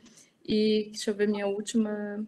Ah, não, e eu fiquei, adorei essa discussão no final sobre os tempos que se chocam, e eu gosto muito dessa ideia de, de olhar para as imagens como todo, mas fotografia é muito interessante de, de pensar esse encontro de tempos. E é isso. Muito obrigada. Obrigada, cara. Sibeli? Olá, Mariana. Muito bom revê-la, escutá-la. Super contente de estar aqui com você, ouvindo. É, bom, eu já sou sua fã, né? Então estou aqui com o seu livro e nós já conversamos tanto. Você teve a oportunidade de ir lá na fundação falar um pouquinho do seu trabalho. E aí eu me lembro que em uma dessas conversas nossas e na sua apresentação, né, lá com as fotografias da, da coleção Francisco Rodrigues, né, que são fotografias né, semelhantes de uma forma a essas que você trabalhou inicialmente, né, de famílias patriarcais. Eu fiquei pensando aqui quando você fala do hábitos, né, o hábitos da classe dominante. Eu gostei muito que você fala desse momento que você nomeia hábitos é, escravista, é, patriarcal escravista, né? Isso, é, exato. Então, essa é hábito senhorial escravista, né? Essa... E aí, como hábitos, fiquei pensando, né? Quer dizer, essa uniformização Toda vez que eu vejo essas fotos que você mostra, né, da, dessa família, é, dessas famílias, né, do, do, Vale do Paraíba, cafeicultoras, né, é claro que por utilizarem técnicas bem padronizadas da época, é possível, né, observar fotos da, da açucarocracia, né, da da açucareira, é, no Nordeste, de forma semelhante. Agora, eu queria te perguntar, assim, nessa tua experiência de dois, né, quer dizer, de coleções distintas, de, de blocos distintos, né, geográficos, o que, que você notou é, para além dessas padronizações? Quer dizer, eu não sei, na, na do, do, Vale do Paraíba, eu, não, eu posso estar errada, mas pelo que eu vi do que você mostrou, dos artigos, do seu próprio livro, né, essa presença das amas, né, e essa, a figura, né, a presença na, nas, naquelas famílias dos, das escravizadas ou dos escravizados,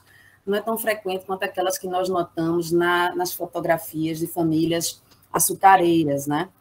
E aí eu fiquei, é, assim, são, são famílias, claro, que fazem parte desse dessa camada senhorial, escravista, mas em condições diferentes. Uma já está mais numa decadência econômica e a outra está ali se projetando, né, como você, de alguma forma, mostra, né, na, inclusive financiando propaganda das suas fazendas, etc.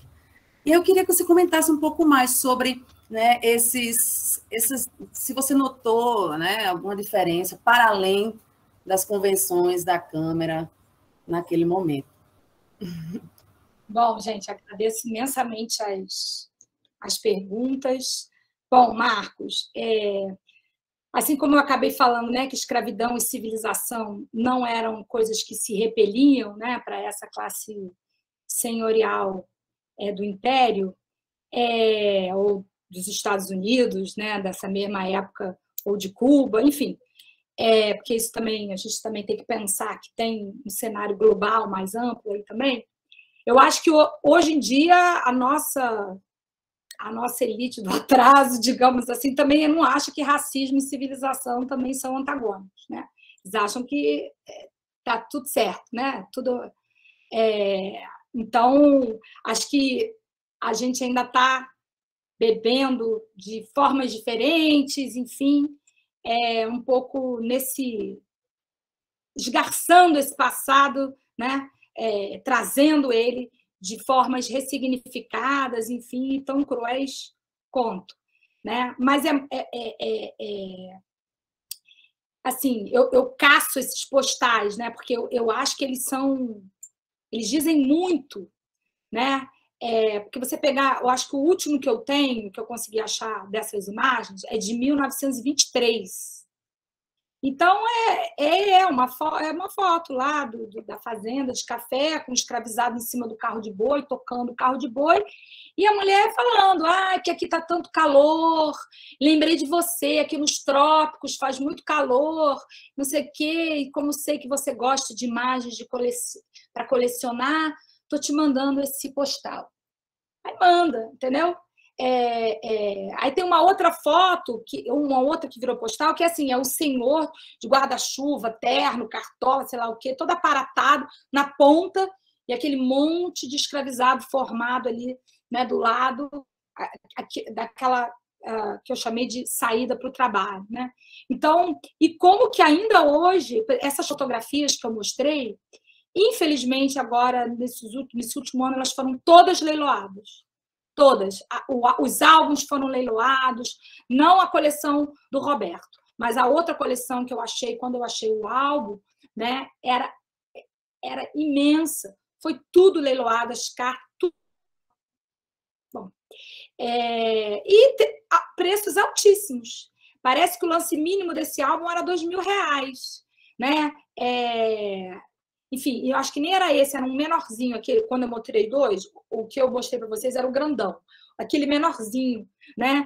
Enfim, então essas fotografias, elas têm aí também, tem um fetiche, né? Eu acho que a nossa, a nossa elite do atraso ainda tem um fetiche de comprar, é, nem que seja cartão postal do Vitor Frond, né? Acho que são todas esses são é uma série do Vitor Frond, né?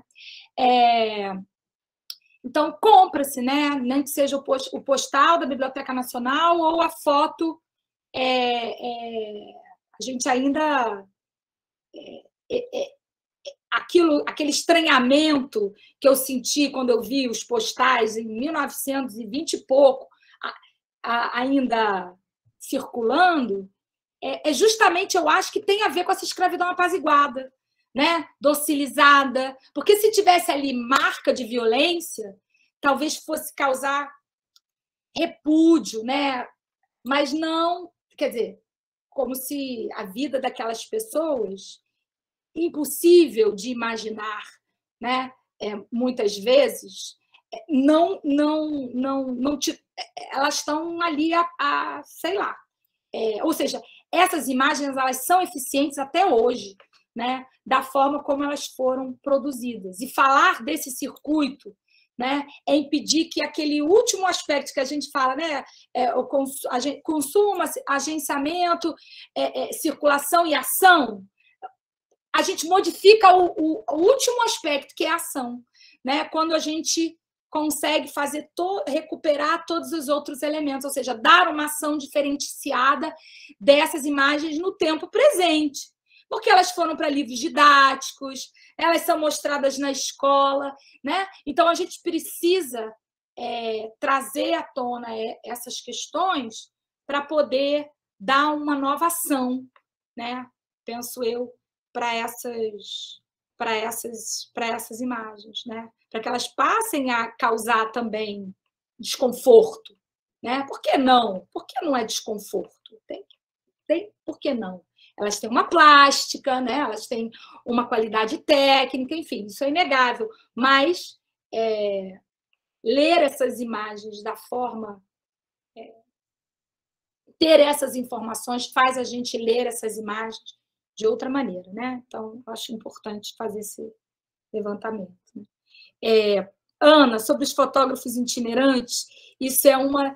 Eu faço várias pesquisas ao mesmo tempo.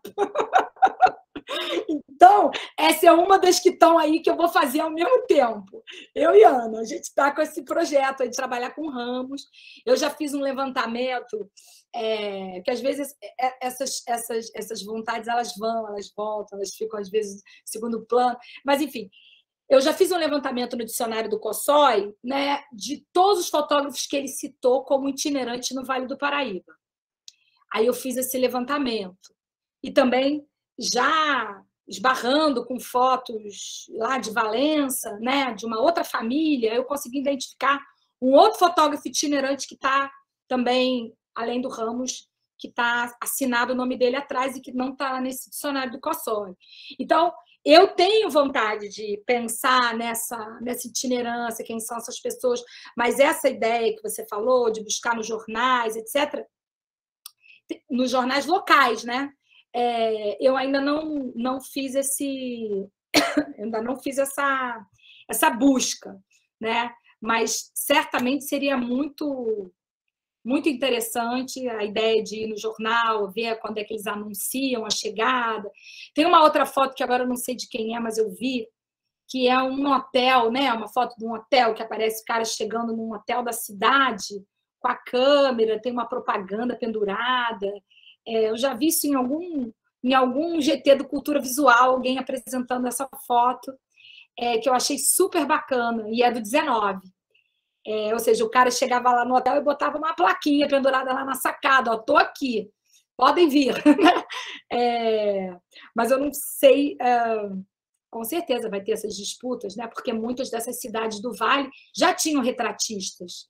Né? Se você olhar no Almanac Lemert, Piraí tinha retratista, é, Vassouras Valença tinha retratista, isso eu já pude olhar. Então, esses caras que se estabelecem, né, provavelmente não vão gostar quando chega um desse e bota lá a plaquinha no hotel. Né? Mas é, é, é bacana é, ver essa disputa, uma ideia legal. Né? É sobre relatos da frequência e do momento da fotografia. Na frequência eu tenho pouco, dos momentos eu consegui nas cartas algumas passagens, né? É, tem um que ela reclama que não que, que ela, o irmão está morando longe, ela queria uma foto, que mandou a foto dela feia, reclama que o cabelo dela chamou, parece um cabelo de trepa moleque, né? Que eu acho que é um tipo de, de de chão de, de, que se fazia, aí, aí ela reclama, enfim. Tem lá algumas, algumas cartas que a gente consegue identificar essas passagens da fotografia. É, Cibele, né? Obrigada pela pergunta. Quando eu fui lá na, na, na né? Quer dizer, uma das coisas que eu fiz quando eu me debrucei, que eu percebi quando eu me debrucei nessa coleção da Francisco Rodrigues, comparando com essa do Gibeiro de Avelar, é justamente o como formou a coleção, né? Eu acho que a história da, de como essas coleções se formaram, apesar de, dos objetos dela, que são fotografias de família, serem muito do 19, serem muito próximos, é, é, é mesmo assim objeto a ser colecionado, né? É, por outro lado, eu acho que elas têm intenções muito diferentes, né? A Viscondessa está colecionando a sua própria memória, né? Ela tem ali uma escrita é, é, visual familiar, né? Ela está relatando, ela tem a intenção de guardar, né, para o futuro através de uma memória de, de, dessa desse movimento de guarda do presente, né? É, é, quem é, quem são eles, né? Quem é esse grupo? E se a gente for pensar, essa mulher ela foi muito eficiente, porque a quantidade de objetos, de coisa que se perpetuou no tempo e que agora só se dispersou agora praticamente, né, com esse, com esse último leilão. Então ela foi muito, ela teve sucesso nesse durante muitos anos, talvez quase um século.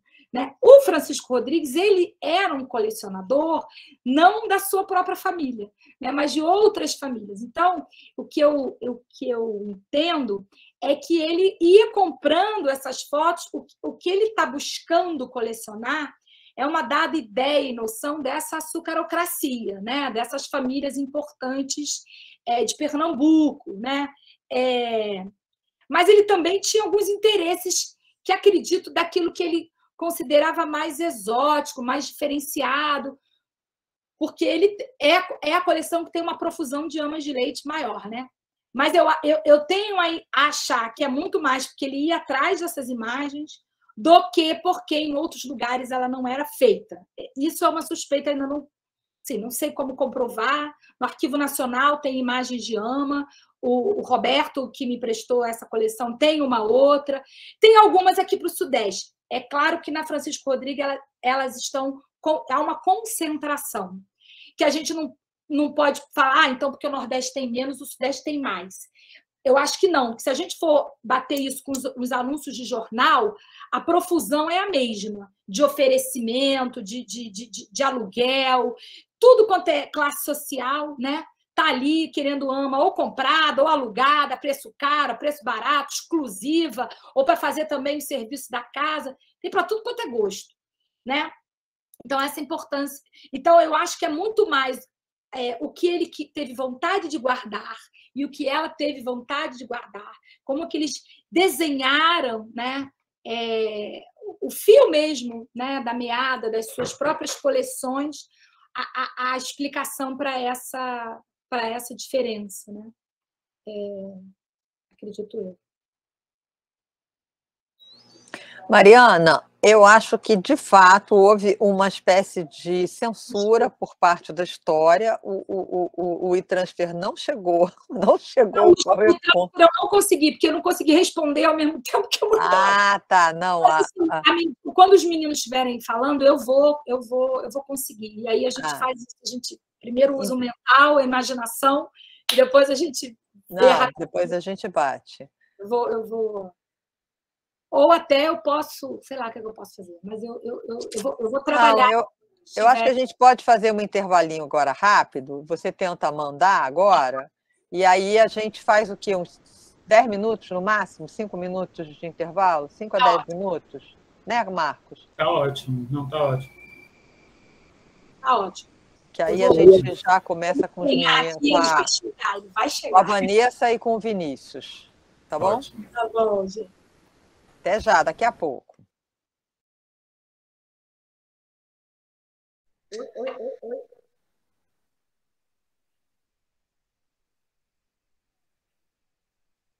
Tá todo mundo vendo?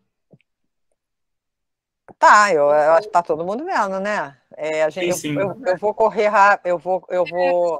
assim, essa daí, por exemplo, entraria no primeiro tema, né? Que eu falei do complexo cafeiro, das fotos panorâmicas, do, do tecnologia, da estrutura da fazenda, era o que ia compondo a temática dessa, desse primeiro tema, né? Pode passar. Ah, eu botei isso aí, pode passar. É outra dessa, essas fotos mais monumentais, assim, né? Da, da monumentalidade da estrutura mesmo.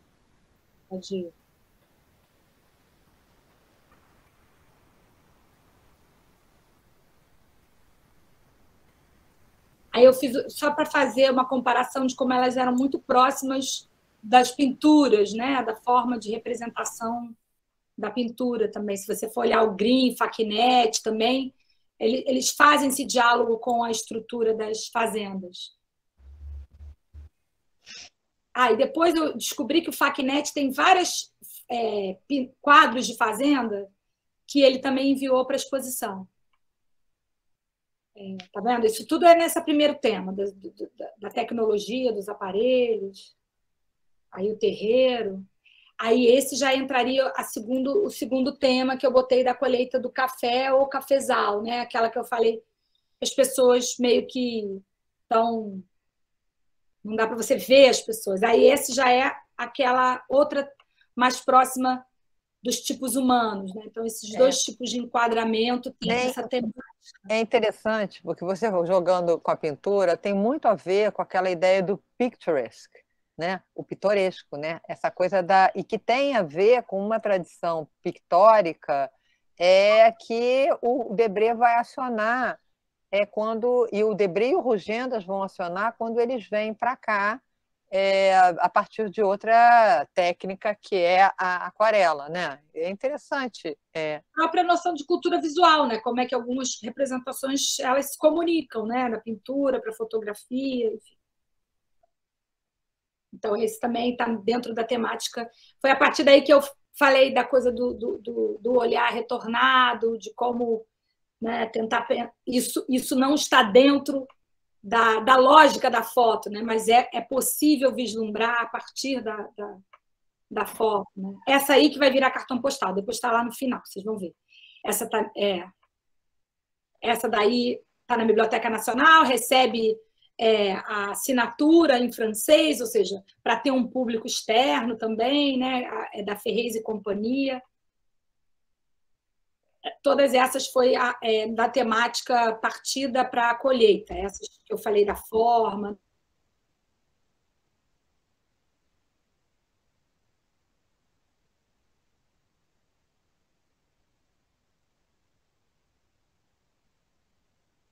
Né?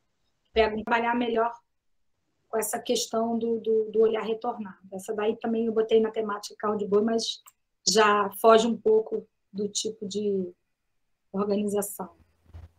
Essa, ah, essa eu botaria dentro do, da ideia do complexo cafeiro, mas aqui eu era, era eu usei justamente para fazer uma brincadeira como que ah, na primeira foto o senhor baixou a cabeça, né? Então é, ele não aparece. E aí foi feita a foto novamente. E aí, se você for olhar também, vários escravizados viram de costas para a segunda foto eu não sei se é a segunda, enfim. Mas quando o senhor está de cabeça para cima, eles estão de costas, né? Então, um pouco para brincar nessa questão, é, enfim, da subjetividade, né? De, de formas de resistência que a gente pode ver a partir é, de toda a tentativa de, de não ser visto, né? De que isso não fosse visto, né? Aí são para mostrar que as mesmas fotos receberam uma outra circulação com com, com esses títulos em francês, viraram cartões né, para serem comercializados. E aí os postais. É, eu consegui na internet, assim, todo, vez, em, vez em quando eu vou na internet catar para ver se tem alguém vendendo algum Marco Ferreira. Se vocês acharem por aí, eu aceito. Dessa série aí.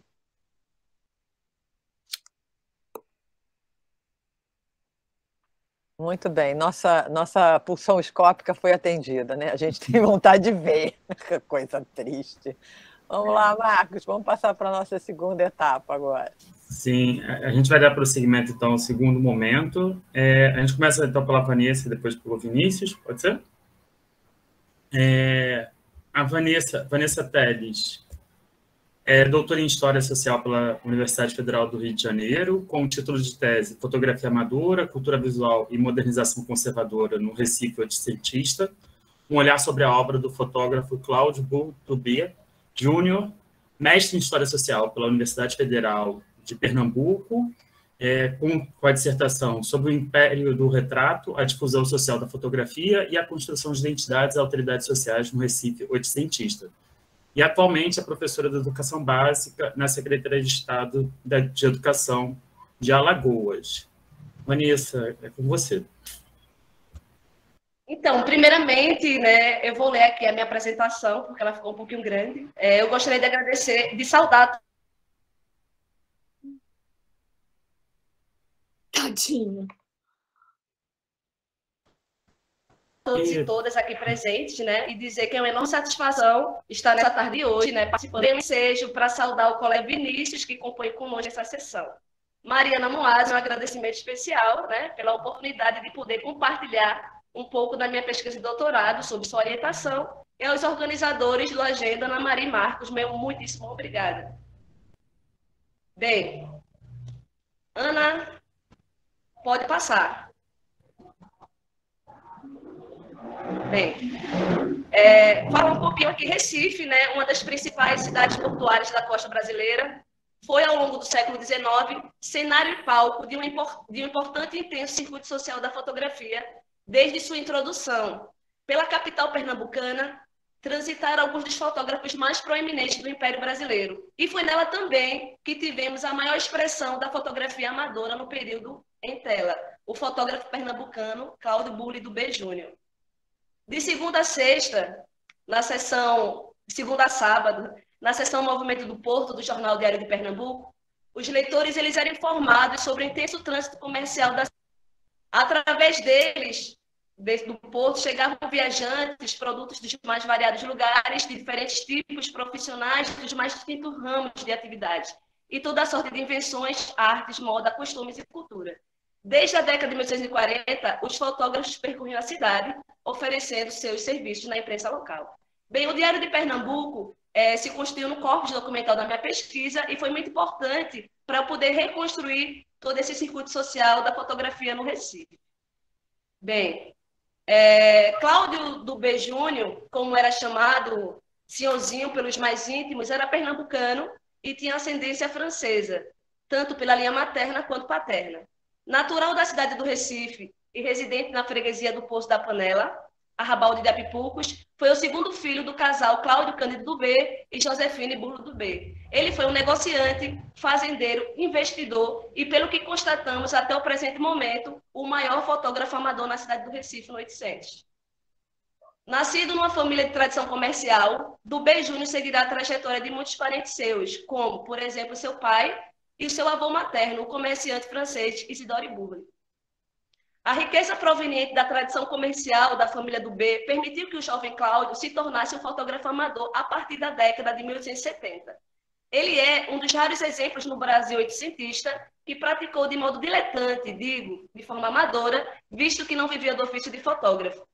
Dispondo de tempo e dinheiro, o fotógrafo se lançou nesse hobby visual, como poucos contemporâneos seus conhecidos na historiografia da fotografia brasileira. É, não saberíamos precisar como se deu sua formação enquanto fotógrafo amador, por não terem sido preservados sua biblioteca, tampouco seu laboratório. No entanto, podemos lançar algumas luzes sobre seu processo de formação enquanto fotógrafo.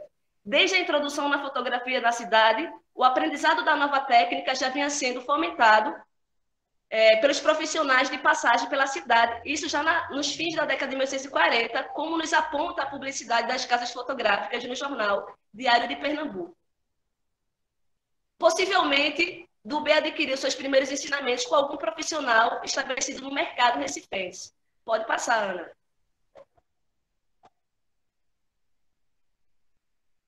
É, do que foi preservado pelo seu único filho, um único filho do fotógrafo e que lança luz sobre sua formação na arte da fotografia, ficou apenas um álbum fotográfico e 90 fotografias avulsas, estas últimas localizadas no Arquivo Geral do Instituto Arqueológico, Histórico e Geográfico Pernambucano, as quais compõem sua coleção. A formação dela se coaduna com o início de sua produção fotográfica amadora, isto é, durante a década de 1870. Sua prática de colecionar fotografias estava inscrita em seu círculo de sociabilidade e aos interesses por temas relacionados às obras de modernização das cidades, à família, ao ambiente natural e às ferrovias. Fotografias que atravessaram os séculos e gerações, sobrevivendo às intempéries do tempo e aos descasos com a memória. Hoje, elas podem ser analisadas através das marcas de experiências passadas para constituir algumas histórias. Foi no ano 2000 que a coleção dele, Cláudio, deixou de ser uma coleção privada para se tornar uma coleção pública. A coleção é composta por um álbum fotográfico e por 90 fotografias, que foram preservadas pelo seu único filho e herdeiro, Cláudio Leão do B. Logo depois do seu falecimento, no ano de 1953, toda a documentação fotográfica referente à família Burle do B ficou sob a guarda da neta do fotógrafo até o ano 2000, quando seu filho e bisneto do fotógrafo, Gilberto Lemes do B Paz Barreto, decide, a pedido da sua mãe, doar todo o arquivo familiar. A escolha da família do fotógrafo em doar é, a coleção ao Instituto está relacionada ao fato de Silvio Paz Barreto, médico e genealogista, esposo de Cristina e pai de Gilberto, ter sido membro e ex-diretor da referida instituição. Quando do seu falecimento, tanto o filho quanto a esposa cumprem seu antigo desejo. Hoje, a documentação relativa às famílias Burle, Dubé, Leão, Nidham, Paz Barreto, entre outras, compõe o fundo documental Silvio Paz Barreto. Pode passar, Ana. Pode passar. Pode passar o slide. Não, volta, volta. A coleção. Pronto. Diante do esforço no qual nos lançamos na caracterização da coleção de Cláudio do B, isto é, do conjunto documental, que foi objeto de análise na minha tese de doutoramento, tornou-se imperativo que a cotejássemos com outras coleções fotográficas oitocentistas, em especial as brasileiras, para percebermos em que medida elas se aproximam e se distanciam no que concerne à prática fotográfica e colecionista encetada durante o Segundo Império. Tal exercício nos levou a conjecturar que a coleção estudada traz algumas características do colecionismo que se desenvolveu no decorrer do século XIX, tendo em vista temas retratados, técnicas utilizadas, formatos e modalidade de imagens, dialogando, em certa medida, com alguns acervos públicos e privados produzidos durante o Segundo Império. Dito isto, consideramos o conjunto do acervo fotográfico localizado no Instituto de um inestimável valor histórico e documental. Por fim, é preciso pontuar que, quando nos lançamos ao desafio de analisarmos a coleção fotográfica de Cláudio, à luz dos usos e funções da fotografia no século XIX, foi possível também identificar algumas ausências e lacunas quanto aos temas, formatos e processos fotográficos nelas existentes. Não obstante, não consideramos um demérito da coleção, porque elas nos ajudam a compreender as escolhas do fotógrafo e colecionador, as características da coleção e do colecionismo praticado pela personagem.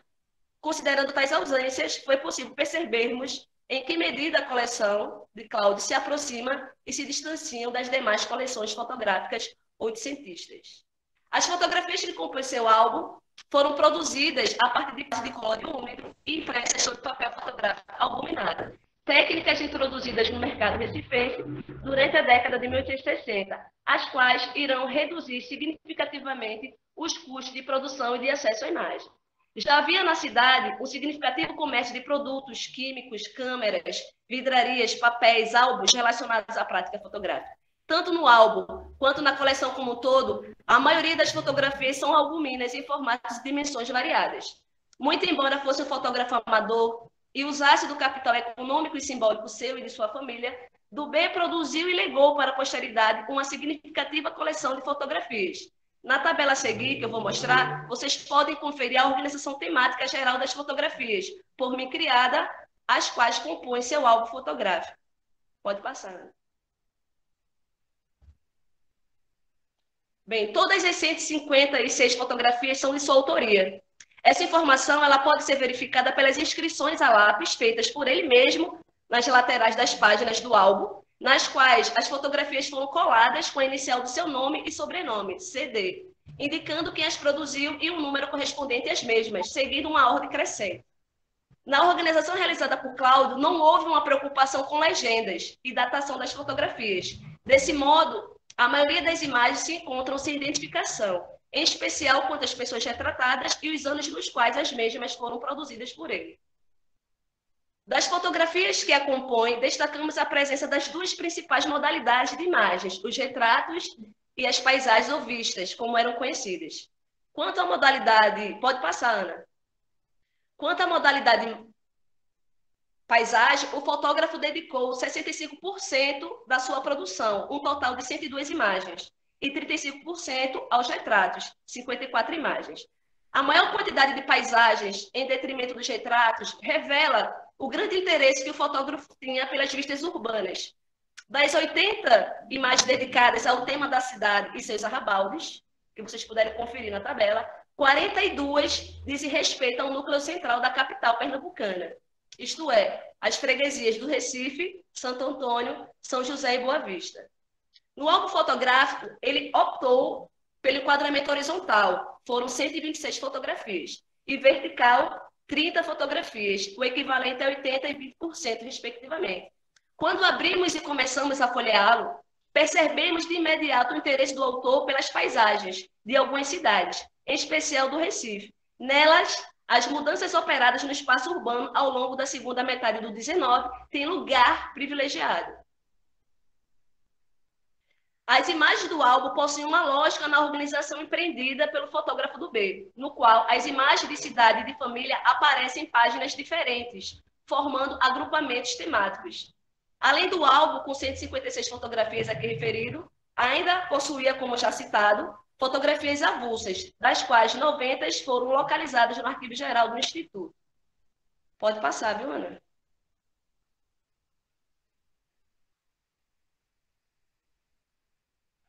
Aí. Bem, na construção da apresentação para o seminário, eu optei seguir o movimento da narrativa visual construído pelo fotógrafo em seu álbum.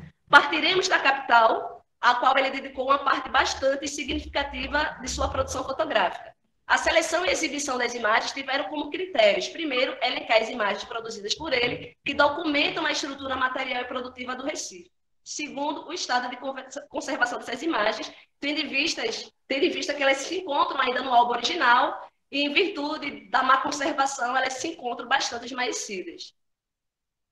É, negociante de açúcar e outras commodities, Cláudio do B, além de investir capital no setor de comunicações, ferrovias, estradas e companhias de trilho, documentou várias obras de modernização na cidade, a exemplo da Ponte da Boa Vista, a Companhia de, Companhia de Saneamento Recife de Drainagem, o Cemitério dos Ingleses, a Casa de Banhos e a Casa de Detenção do Recife.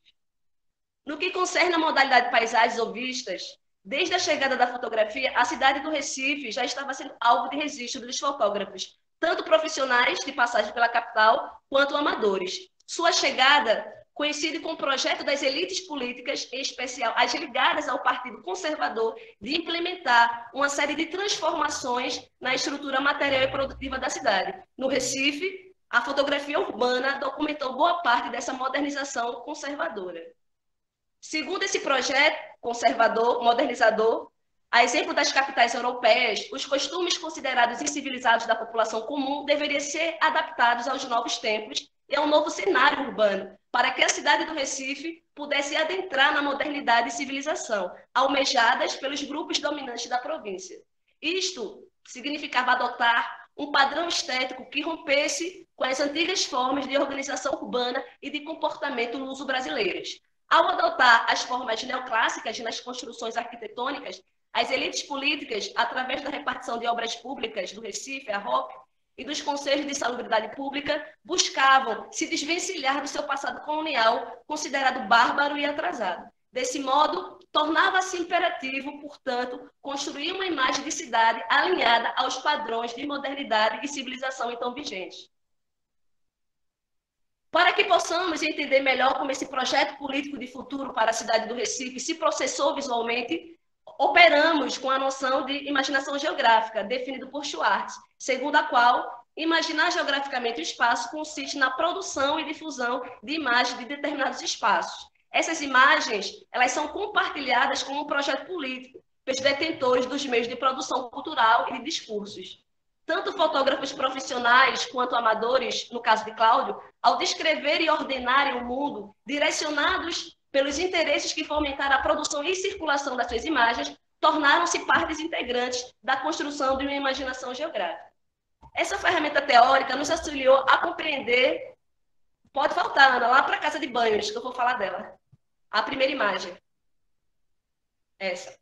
É, tal ferramenta teórica nos auxiliou a compreender e visualizar como as elites políticas e culturais, ancoradas na retórica do progresso e da modernização da infraestrutura material e produtiva do Recife, ao operarem através dos espaços citadinos, atuavam em conjunto com os fotógrafos na disseminação de novos valores ditos modernos, por meio das vistas e paisagens urbanas que eram comercializadas no mercado da capital pernambucana. Mas imaginar o espaço geográfico do Recife e assim compartilhar uma nova visão do que se queria sobre a cidade também foi uma prerrogativa do fotógrafo Cláudio e de outros fotógrafos que compuseram esse circuito social da fotografia no Recife. Juntos, fotógrafos profissionais e amadores participaram da construção de uma imaginação geográfica ao selecionar os espaços representativos da Recife civilizada, compondo uma cartografia da modernidade compartilhada pela classe senhorial pernambucana durante o Segundo Império. Na sua querida cidade natal, sua câmera fotográfica não deixou passar incólume algumas obras de modernização. A narrativa visual construída pelas imagens organizadas em seu álbum parece seguir um movimento de ruptura entre a cidade, que buscava se afastar do seu passado colonial, imagem que paulatinamente ia se esmaecendo da paisagem urbana, para dar lugar a uma cidade cosmopolita transpassada pelos trilhos das machabombas e bondes, a uma arquitetura com formas neoclássicas, ao alargamento e alinhamento de ruas, à construção de praças e passeios públicos, casa de detenção, casa de banho, cemitérios, pontes reformadas, estradas, entre outros. O Recife de Cláudio do B é múltiplo, é o mar, é o rio, é a casa de banhos, é a casa de detenção, o cais, as ruas, as pontes, os largos, as igrejas, as praças, o cemitério, os edifícios públicos, entre outros. O fotógrafo ele parte do real, né, da história e dos fatos da cidade, para retratar a sua maneira, espelhada, imaginária e afetiva, revelando-se um cronista da cidade. Negociante, fazendeiro e fotógrafo, estava muito atento às transformações pelas quais sua cidade estava vivenciando e não deixou-as de registrar tanto as mudanças operadas em, suas, em sua paisagem, quanto a cidade que aos poucos ia desaparecendo e perdendo os ares de cidade colonial. Na retórica da civilização, a cidade também será palco para os debates em torno da relação entre saúde e sociedade como fatores de desenvolvimento. No relatório de província apresentado por Francisco do Rego Barros, em 1839, o Conde da Boa Vista, ele atentava para a necessidade de mobilizar recursos para a promoção da salubridade pública na capital. No seu discurso, a higienização também fazia parte da retórica civilizatória dessas elites dirigentes. Afinal, uma cidade higienizada era vista por elas como sinônimo de civilização.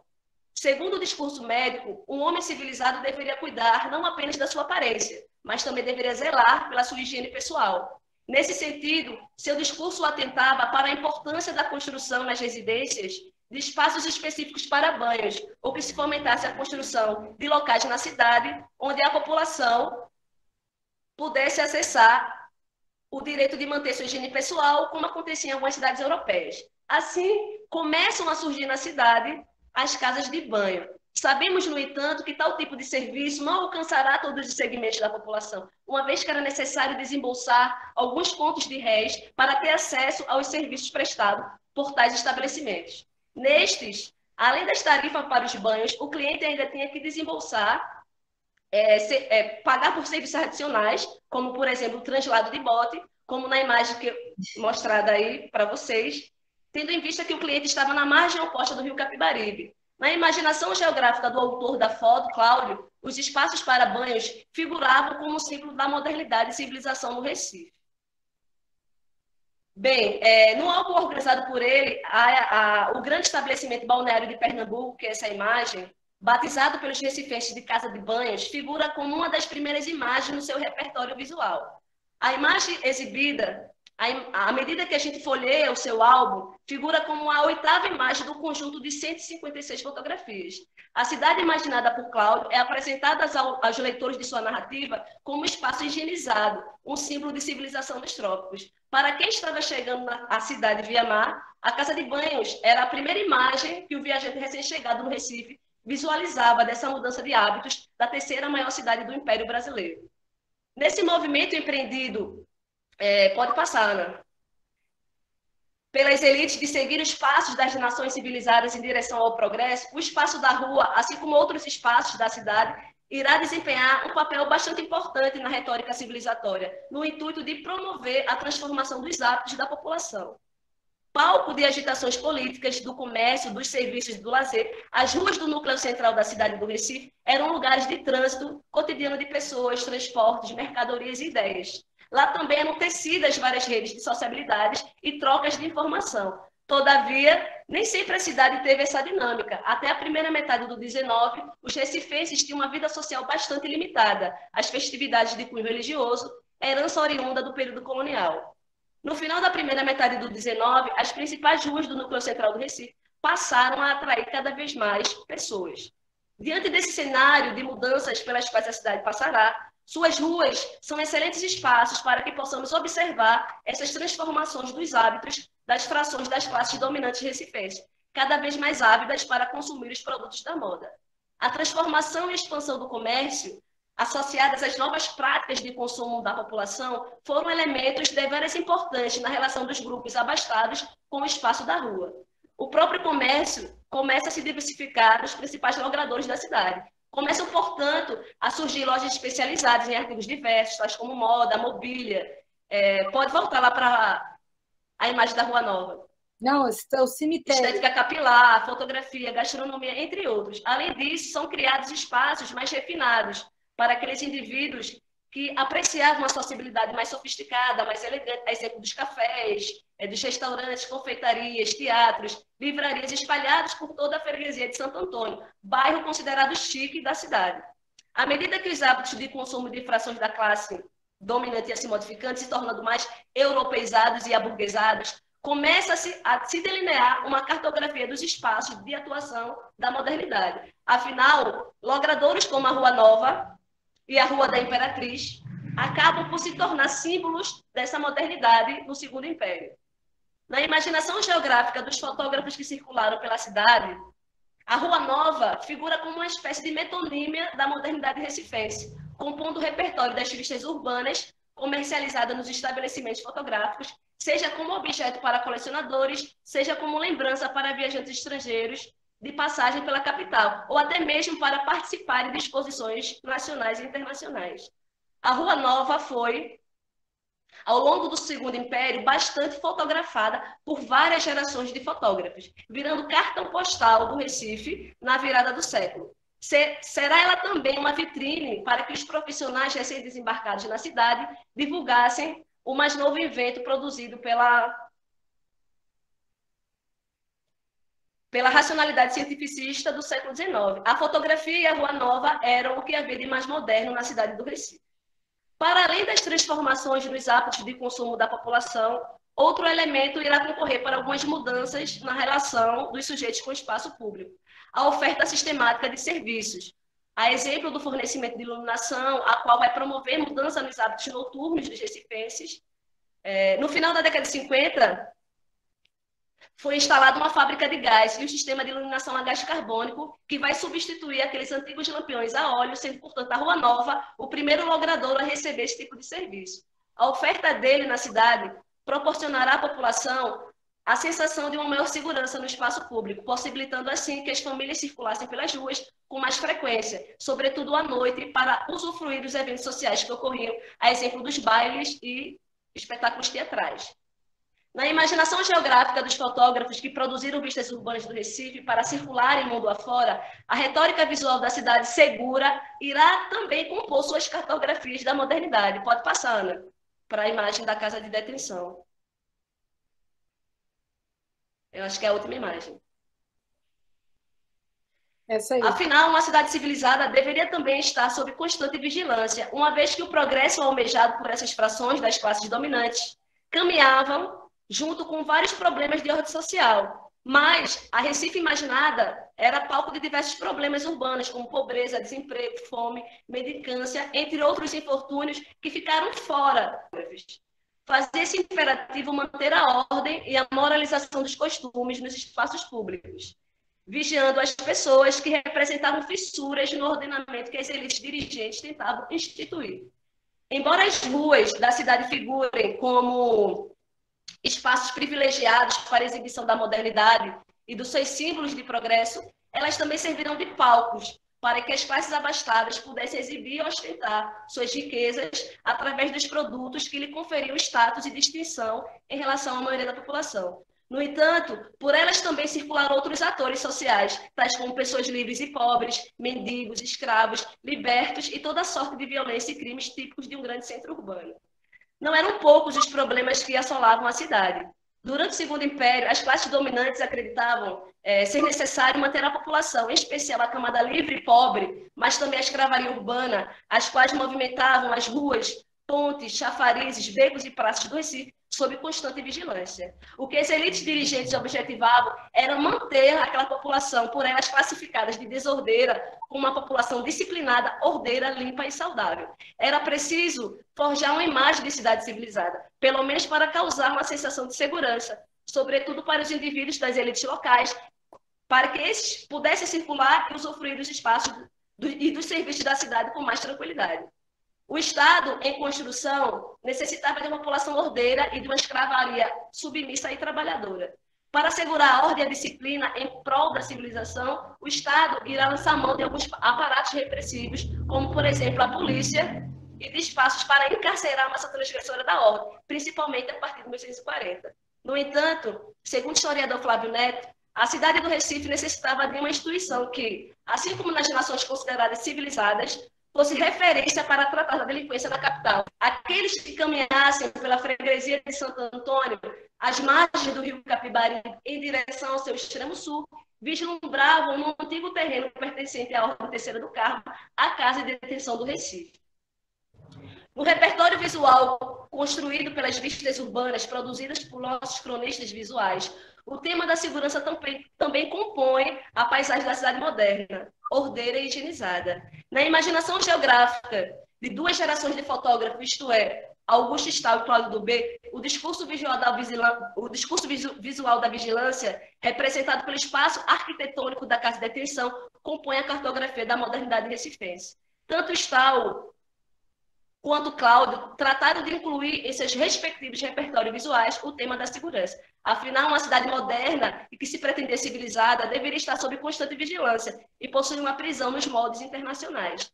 Ao analisarmos os repertórios visuais das vistas urbanas, percebemos que a cidade enquadrada pelas leis não é mais a Recife colonial. O foco agora está na representação de uma cidade em constante transformação, com ruas iluminadas, casas de banhos, teatros, companhia de saneamento, entre outros. Tais elementos destacavam o desenvolvimento das tecnologias e o traçado urbano moderno, cada vez mais valorizados pelos padrões civilizatórios ao longo do 800.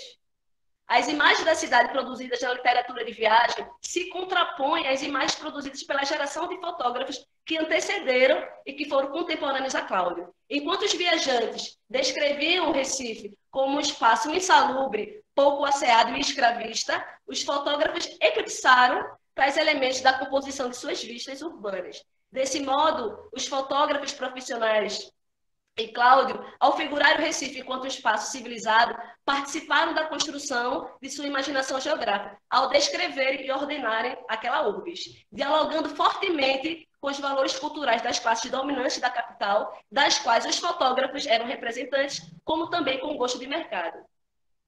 É, se, por um lado, o fotógrafo amador se apresenta nas fontes consultadas como um indivíduo adepto e consumidor de novas tecnologias, compartilhando uma visão entusiasta do progresso operado na paisagem da, da cidade e província, materializado em importantes obras públicas, algumas das quais financiadas com dinheiro do tráfico legal de escravos, por outro, as fontes visuais, quando postas em diálogo com outros textos de caráter verbal, mas também com o próprio contexto no qual foram produzidas, permitiu-nos perceber as tensões presentes na vida de Cláudio. Isto é, o mundo que ele vivia e o mundo que ele imaginou construir com a sua câmera. A seleção das imagens pelo fotógrafo, sua organização em um álbum fotográfico, sua doação e posterior publicação nos dá a dimensão da visão de mundo que frações das classes dominantes gostariam que fosse compartilhada com as gerações vindouras. Uma cidade com belos edifícios, praças, pontes, teatro, bondes, ferrovias, pessoas elegantemente vestidas europeias, entre outros. Uma cidade que, ao ser documentada fotograficamente e contemplada por olhares contemporâneos e poucos treinados a ver para além da contiguidade física entre o referente e seu objeto de representação, podem ser induzidos a pensar que a cidade era de fato limpa, ordeira, sem desigualdades, sejam elas sociais, econômicas e de gênero, não violenta e que a maioria da população que habitava a cidade do Recife ou nos seus entornos, durante a segunda metade do século XIX, tinha acesso aos serviços de saneamento básico, água potável e condições dignas de moradia e higiene. Enfim, que todos e todas viviam numa cidade moderna e civilizada. Bem, a gente vai entender esse processo com uma modernização conservadora. Por quê? Porque o fotógrafo ele vai combinar esses elementos identificadores dessa modernização com a escravidão, né? aquilo que não são antagônicos é, é conservador também porque não vai contemplar a maioria da população recifense composta por pessoas livres, pobres, escravas e ex-escravos. É conservador também porque não vai romper com as estruturas nem social e nem de poder na passagem da monarquia para a república. É isso. Muito obrigado, Vanessa. Foi ótimo. É, a gente vai agora para a segunda comunicação. Falei muito, né? Falei para caramba que é a comunicação do Vinícius Monteiro. Agora eu não estou ouvindo. Vocês estão me ouvindo? Estamos. Agora fecha o seu microfone. Fecha o microfone. Eu vou sair porque eu não estou ouvindo. Eu vou sair e vou entrar de novo. Tá certo. É, a gente vai então agora para a segunda comunicação, que é do Vinícius Monteiro. Que é, ele é doutorando em História pela Universidade Federal do Estado do Rio de Janeiro, da Unirio, bolsista CAPES, orientado pela professora Mariana Moazzi e membro do grupo de pesquisa do Núcleo de Documentação, História e Memória é, da Unirio. Tem interesse na história do Brasil no século XIX, atuando nos eixos fotografia, criminalidade e história cultural. É, Vinícius, é com você, aí você tem de 20 a 30 minutos a comunicação, tá certo? Tudo bem, perfeito. Bom, primeiramente, boa tarde a todos, obrigado pelo convite, Mariana, Ana, Marcos pela recepção, pela troca de e-mails, enfim. É, obrigado pela apresentação também. Essa mini bio é super chique, né? A gente já, já mostra mais ou menos como é que a gente é, enfim. E eu vou compartilhar, é um, um arquivo de Word, de Word mesmo, só para vocês terem noção da materialidade que eu acabo pesquisando. É, até porque ela já é bastante conhecida, enfim, né, que seria a Galeria dos Condenados, as fotografias dos condenados, que estavam condicionados na casa de correção da corte. Deixa eu colocar aqui.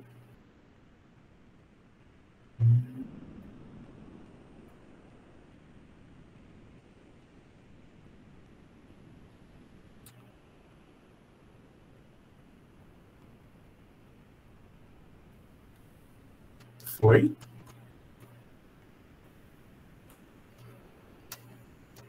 Foi sim. Não, está pequeno, aí você tem que botar cheio. Não, você está projetando a nossa. Você está projetando a sua tela. Do, então, como é que eu meeting. volto? ah, interromper você... compartilhamento. Isso. Aí eu volto para apresentar é uma, uma tela inteira? Você tem que, você não consegue é, compartilhar uma janela? Uma janela. Então, quando você abre uma janela, hum. o que que aparece para você? Não aparece o documento do Word? É, aparece. Que você aparece... Então, você clica em cima desse documento do Word e aí você abre ele.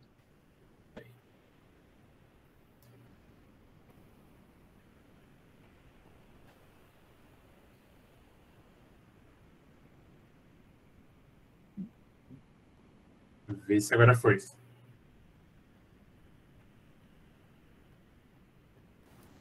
Foi. Foi, sim. Foi. Foi? Ah, então beleza. É, o título do trabalho, que eu já venho desenvolvendo desde a graduação, de maneira indireta, né? Venho pesquisando as fotografias, é, a chegada da fotografia no Brasil, é, esse processo de consumo, É, enfim, e a Casa de Correção da Corte, que, é, que, é, que eu venho pesquisando desde a graduação. E, ao longo do mestrado, eu pude perceber outros tipos de, de, de, de importâncias dentro da fotografia de maneira geral, né, e outras discussões, né, e agora no doutorado eu venho pesquisando também sobre a trajetória social de alguns criminosos, né, que estão presentes nessa galeria dos condenados, é, e essa perspectiva da fotografia criminal no Brasil. Então, o título do trabalho tem é, é Anti-Imagem, Fotografia Criminal e Trajetória Social dos Estelionatários da, da Galeria dos Condenados, e tem como recorte de 69 a 76 é, em 1800, né? Então, assim, partindo do, do, do, do título, é, eu tem a, tem a, a Ana Mawad, né, acaba fazendo essa brincadeira muito tempo atrás sobre imagem e autoimagem, e, e aí dentro da, da discussão sobre a, sobre a dissertação, por que não pensar nesse outro tipo de imagem que circula, ou melhor, tem uma, uma circulação é, mais restrita, é, mas que de maneira imediata também é, é, é, é uma imagem que daqueles que não querem ser é, expressados, né, representados, mas que são necessários para uma representação, talvez do Estado, talvez das instituições de controle, enfim. E aí parte disso, dessa anti-imagem ser é, fotografias dos criminosos, é, fotografias de, de, de, pacientes com algum tipo de, de deficiência física, né, ou, ou intelectual, é, e que até o século XIX, no, dentro do século XIX e início do século XX, eles são extremamente divulgados em algumas galerias é, e que acabam funcionando como esse, esse novo espaço né, de circulação desse tipo de imagem que serve para controle e para identificação e para sistematização de indivíduos que são que deveriam até certo modo ser serem excluídos da história, né? Então assim, é, o título de anti-imagem parte já desse lugar de ser uma imagem de, ou seja, dessa circulação da fotografia criminal no século XIX e dessa formação dessas imagens é, e, da, e, da, e da posição do Brasil, na verdade, sobre essas imagens que começam a circular aqui em outras partes do mundo também, é, na construção dessa estética da, da fotografia criminal que vai se desenvolver no século XIX e vai ser aprimorada no século XX. E assim, a fotografia criminal no Brasil, ela começa a ser desenvolvida, é, o registro que, que eu acabei tendo, né, eu, eu considero como um ponto de partida é a própria Galeria dos Condenados, que está formando suas primeiras fotografias em 1869.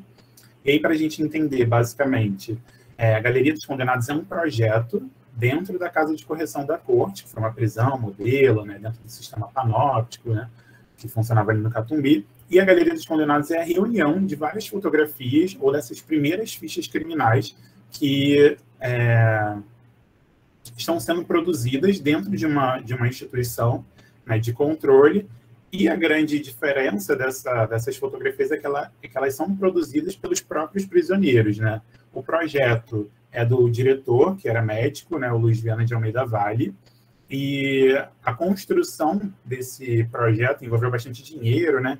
Tinha como, né, como ponto é, focal a Exposição Internacional da Filadélfia, ou seja, ela tinha uma premissa de, de, circular num outro campo, mostrando todo esse processo de modernidade e civilização, né, a brasileira, né, de maneira geral. Mas também antes desse processo, ela começa, essas fotografias elas servem para comunicação entre as instituições. Isso é perceptível através da, da análise das narrativas das, da imprensa, né, entre a comunicação do, de, uma, de, uma, de um departamento de polícia com a própria casa de correção da corte, pedindo a fotografia do, um exemplo de, do criminoso Vitorino, que eles precisavam reconhecer e entender quem era essa pessoa, né, para poder capturar.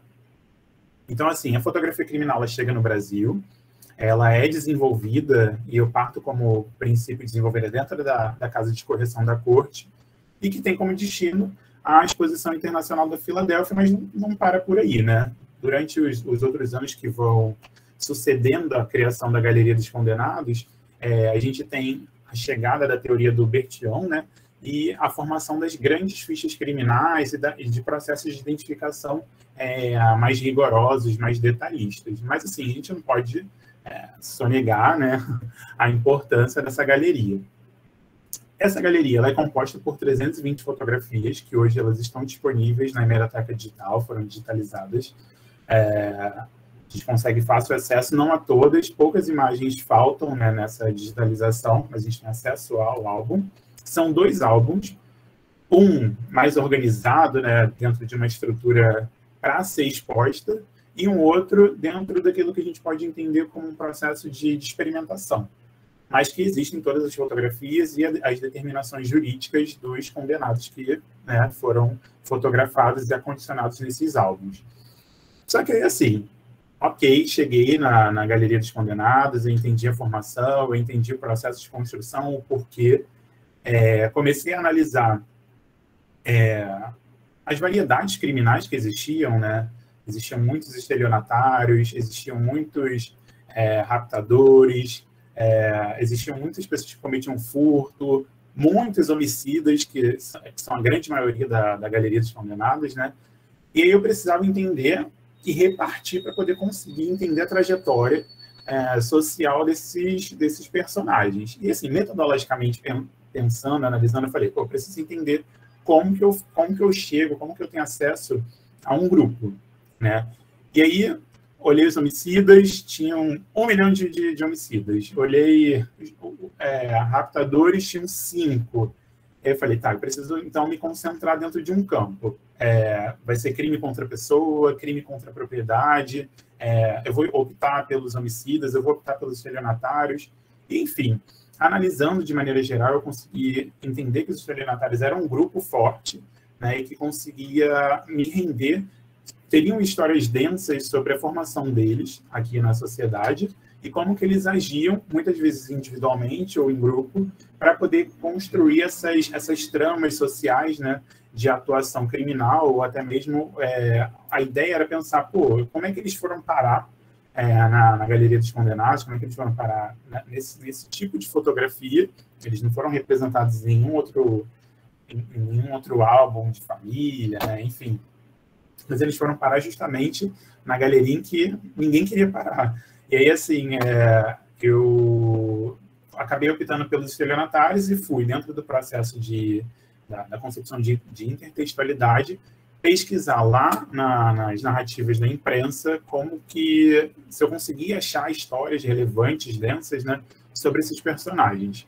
E assim, eu parto do pressuposto de que o grupo dos estelionatários é um grupo que vem se desenvolvendo, é um crime relativamente novo, né, recebe esse nome no século XIX, mas que ao longo do tempo ele vai tendo uma construção é, um pouco conturbada, né, sobre que nome utilizar, sobre como punir, sobre como entender esses personagens que às vezes eles agiam, eles furtavam, mas um grupo era colocado como estelionatário, ou sei lá, eles só não eram, eles só não cometiam um crime contra a, a pessoa. Do restante, o grupo de estelionatários eles eram um bololô louco que precisava ser direcionado, e enfim, a gente vai ter ao longo da, da, da pesquisa do mestrado, eu consegui perceber como as discussões é, eram travadas para entender o que, que, de fato era o grupo de estelionatários e que tipo de punição eles deveriam ter, né? enfim.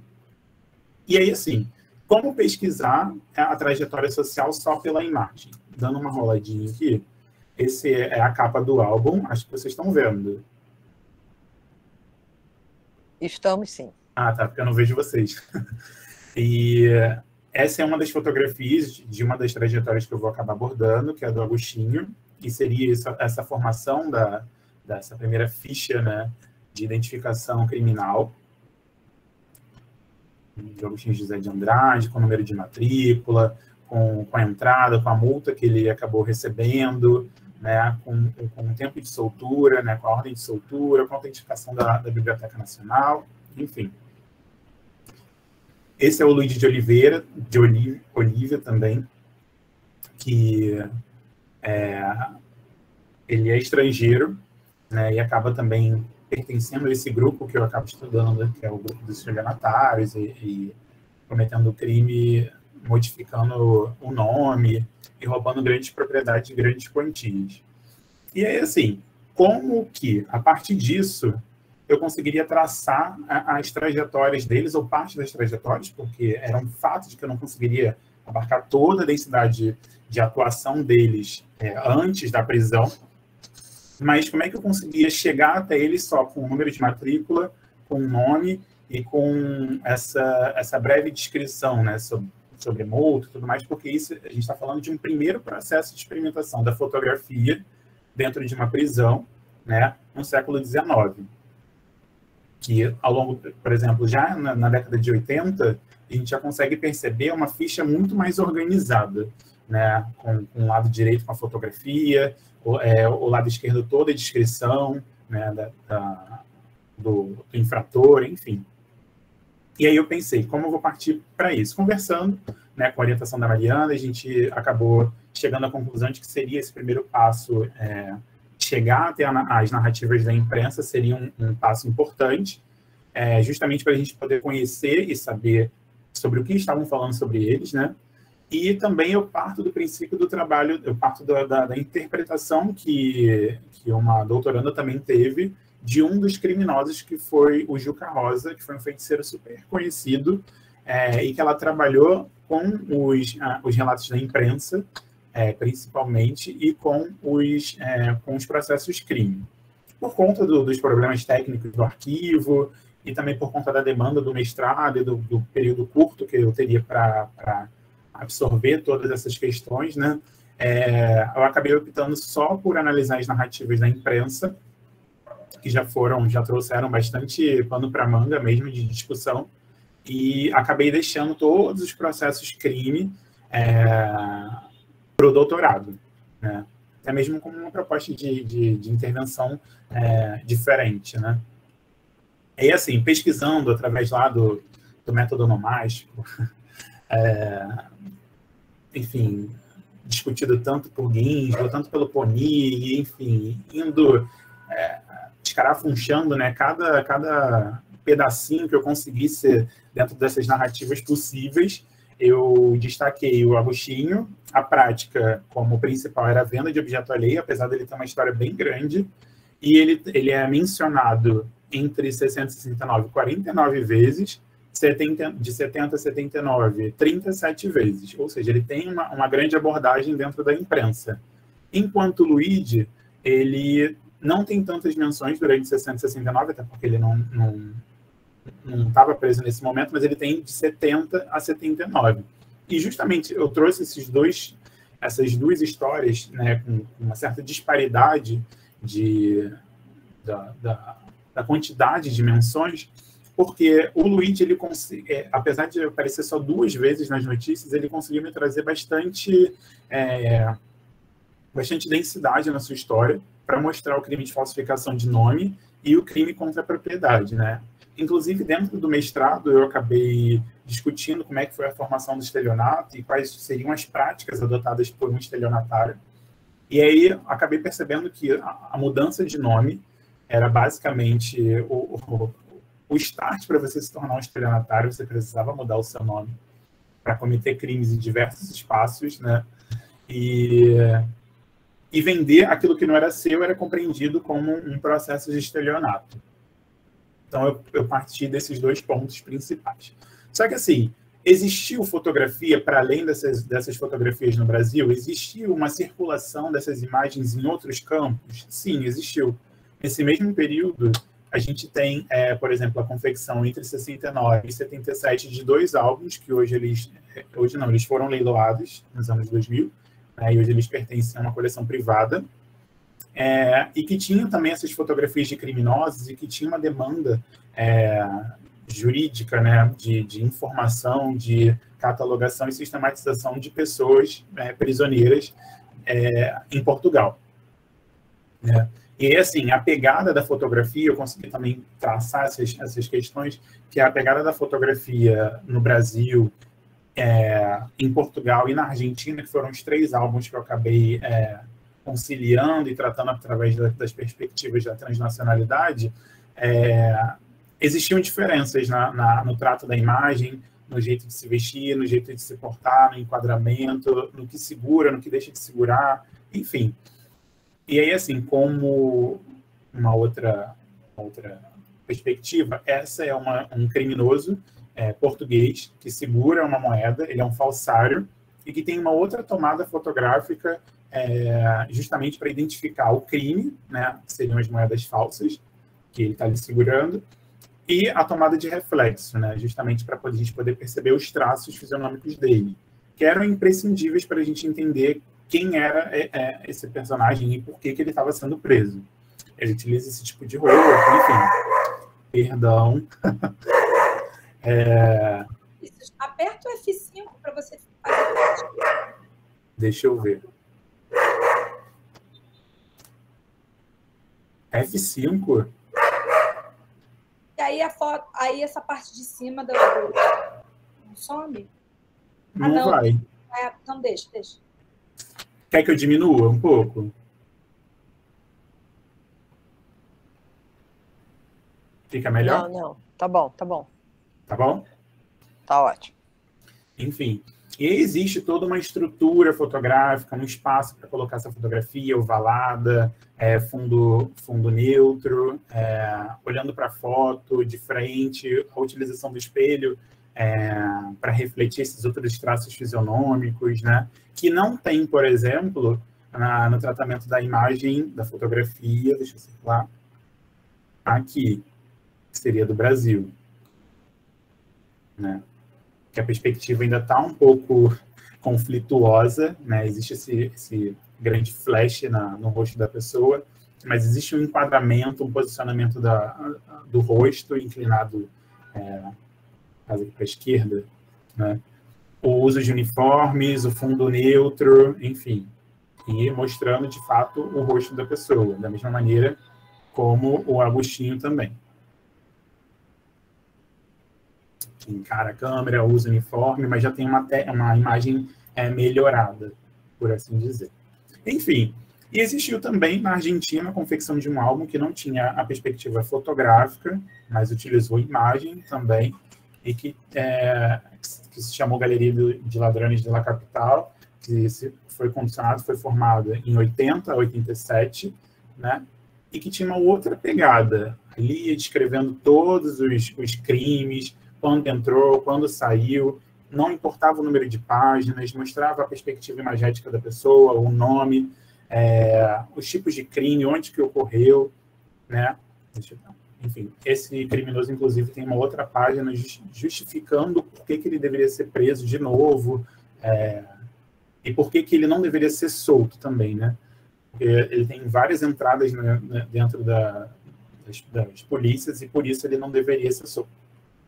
Enfim, e aí como que partir é, a partir da imagem para poder entender é, esses crimes, né? Dentro dessa perspectiva da intertextualidade, dessa concorrência das narrativas, desse visual com textual, é, perceber as narrativas da imprensa é, sobre como eles estavam tratando o personagem e como conseguia construir né, esse, essa grande teia de, de, de circulação dessas pessoas e a partir disso, como que eu consigo inserir isso num grande, um grande contexto histórico, né? Não estava só narrando a prática dessas pessoas, mas onde que eles circulavam, é, onde que eu conseguia perceber é, que esses crimes eram cometidos de, com maior intensidade, é, existia uma organização ou não, se eles eram sempre é, cometiam crime de forma individual, se eles tinham um grupo. E aí eu fui conseguindo perceber, inclusive, como que o Estado ele lidava com algumas práticas criminais e como que ele interferia diretamente na vida de um desses criminosos. Né? O Agostinho José de Andrade, que é esse aqui, ele, ele foi preso né, em 74, dia 14 de agosto de 74, e aí ele entra como ele vende né, objetos que não são dele. Mas antes disso, existe todo um, um o antepassado que diz que ele participou, ele era membro do exército, ele participou de diversas campanhas do exército brasileiro, ele vai para a Guerra do Paraguai, ele, ele é ele, é, ele sofre um acidente né, dentro da Guerra do Paraguai, ele pede indenização, ele acaba não recebendo a indenização que ele queria, né, que ele, por assim dizer, merecia receber. E aí eu faço até na, na, na descrição da junto com, com a narrativa da imprensa como que o, a multa que ele queria receber, né, era muito alta dentro da perspectiva que o Estado queria pagar, e o valor que o Estado queria pagar era muito irrisório. É, inclusive, era mais ou menos o preço de uma dúzia de fotografias é, dentro de um estúdio reconhecido na cidade, né?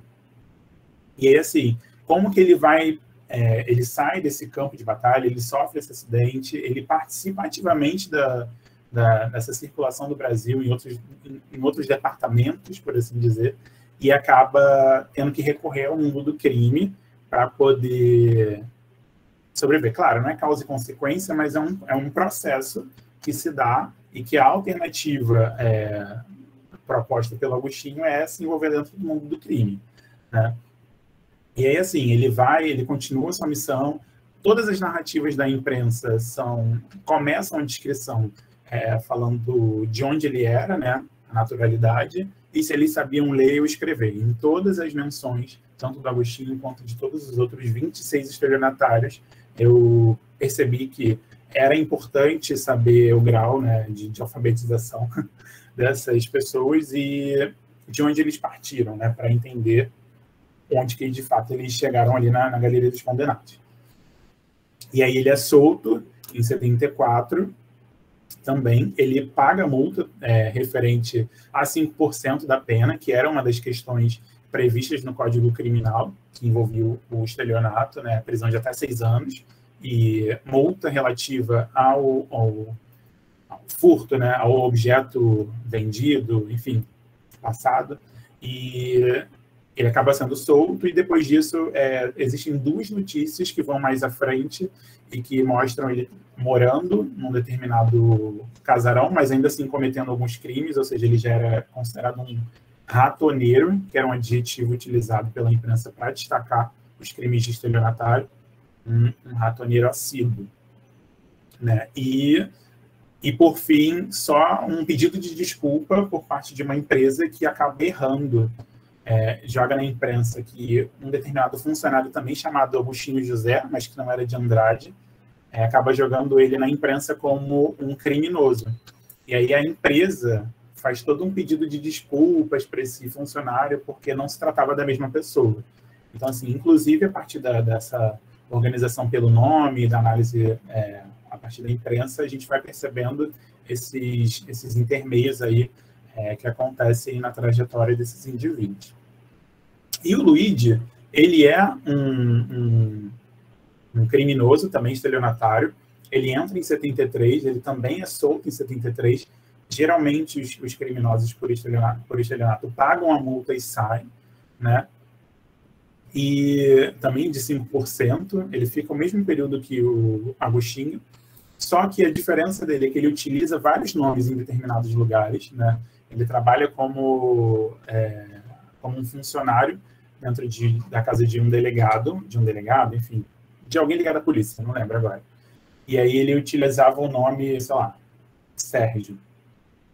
Na, na casa de outra pessoa ele utilizava o nome Paulo, e assim ele ia criando novas perspectivas dentro do próprio crime, dentro da própria personalidade, multifacetada para o crime, né? E ele, ele acaba roubando muitas coisas valiosas, ele, é, ele vai preso, paga por essa, por essa, por todos esses esses furtos, por assim dizer, e depois ele não tem nenhum, nenhum, tipo de menção nos jornais, só dizendo que ele acaba circulando pelo, pela cidade do Rio de Janeiro, enfim. De maneira geral, eu consegui perceber através dessa, desse entrecruzamento, né, dessas, dessas fotografias com a imprensa, os lugares, é, os lugares sociais que essas pessoas circulavam, processos de identificação criminal, é, lugares em que a gente entendia circuitos, circuitos criminais, né, vamos dizer assim, lugares em que a gente hoje ainda tem é, essas, essas questões, né, ah, não vamos circular por determinado lugar porque lá é perigoso. É, e nesse período a gente já tem esses pontos é, de cidades perigosas que ficava ali na parte é, na parte litorânea, né? Enfim, e, a partir disso, perceber é, qual era a proposta também. Pensar para além dessa fotografia, pensar, dessa, pensar a partir dessa, para além dessa estigmatização, né? É, ok, eles foram presos, eles foram existe uma historiadora portuguesa que fala que a fotografia criminal também é, um, é uma cela, né? Eles estão ali é, presos dentro de uma chapa visual. Mas, para além disso, como que eu consigo retirar né, esses personagens que, de um certo modo, eles têm suas vidas expostas né, pelo crime e também pela fotografia, né, pela prática fotográfica criminal que vem se desenvolvendo ao longo do século XIX? Como é que eu consigo humanizar né? Como é que eu consigo recuperar é, é, parte das suas trajetórias que não estão ali dispostas para a gente quando a gente acessa a imprensa e propriamente a, a, a, fotografia em si, né?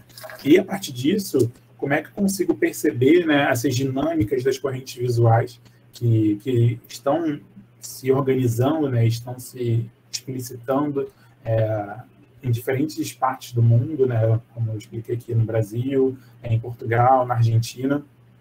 Qual que é o poder do retrato prisional de aprender, né, novamente, de instrumentalizar essa, essa identidade, né, de tornar essa pessoa reconhecível e é, como que eu consigo entender essa circulação de certo modo reduzida, porque circula em instituições que a gente não tem acesso ou não deveria ter, mas também é uma circulação que se promete é, entregar um determinado aspecto da civilização, né?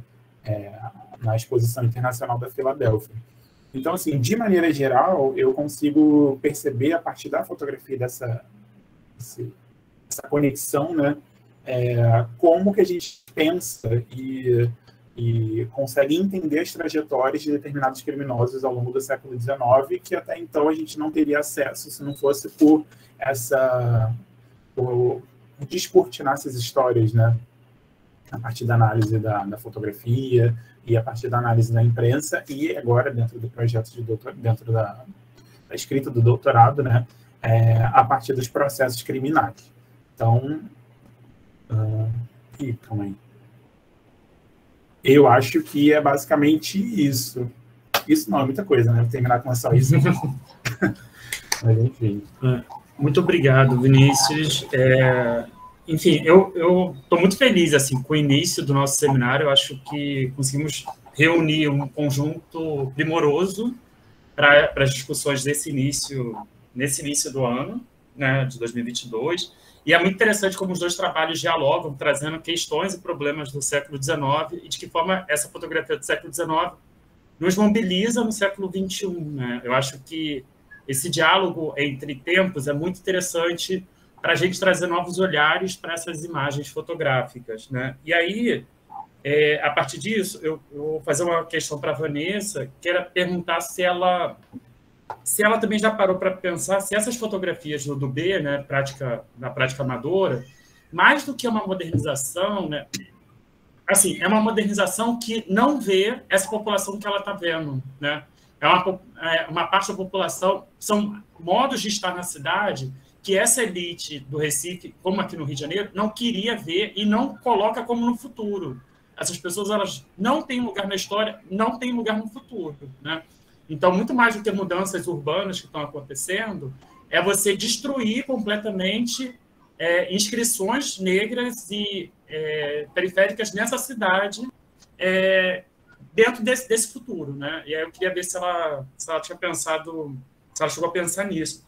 E, e para o Vinícius, assim, eles têm, acho que assim, o Rogério está aqui, o Rogério tem um trabalho que, que pode dialoga muito com o seu, acho que é até um convite para você assistir a, a, palestra do Rogério, que o Rogério vai fazer uma palestra no, esse ano aqui conosco, mas ele deve falar alguma coisa para você.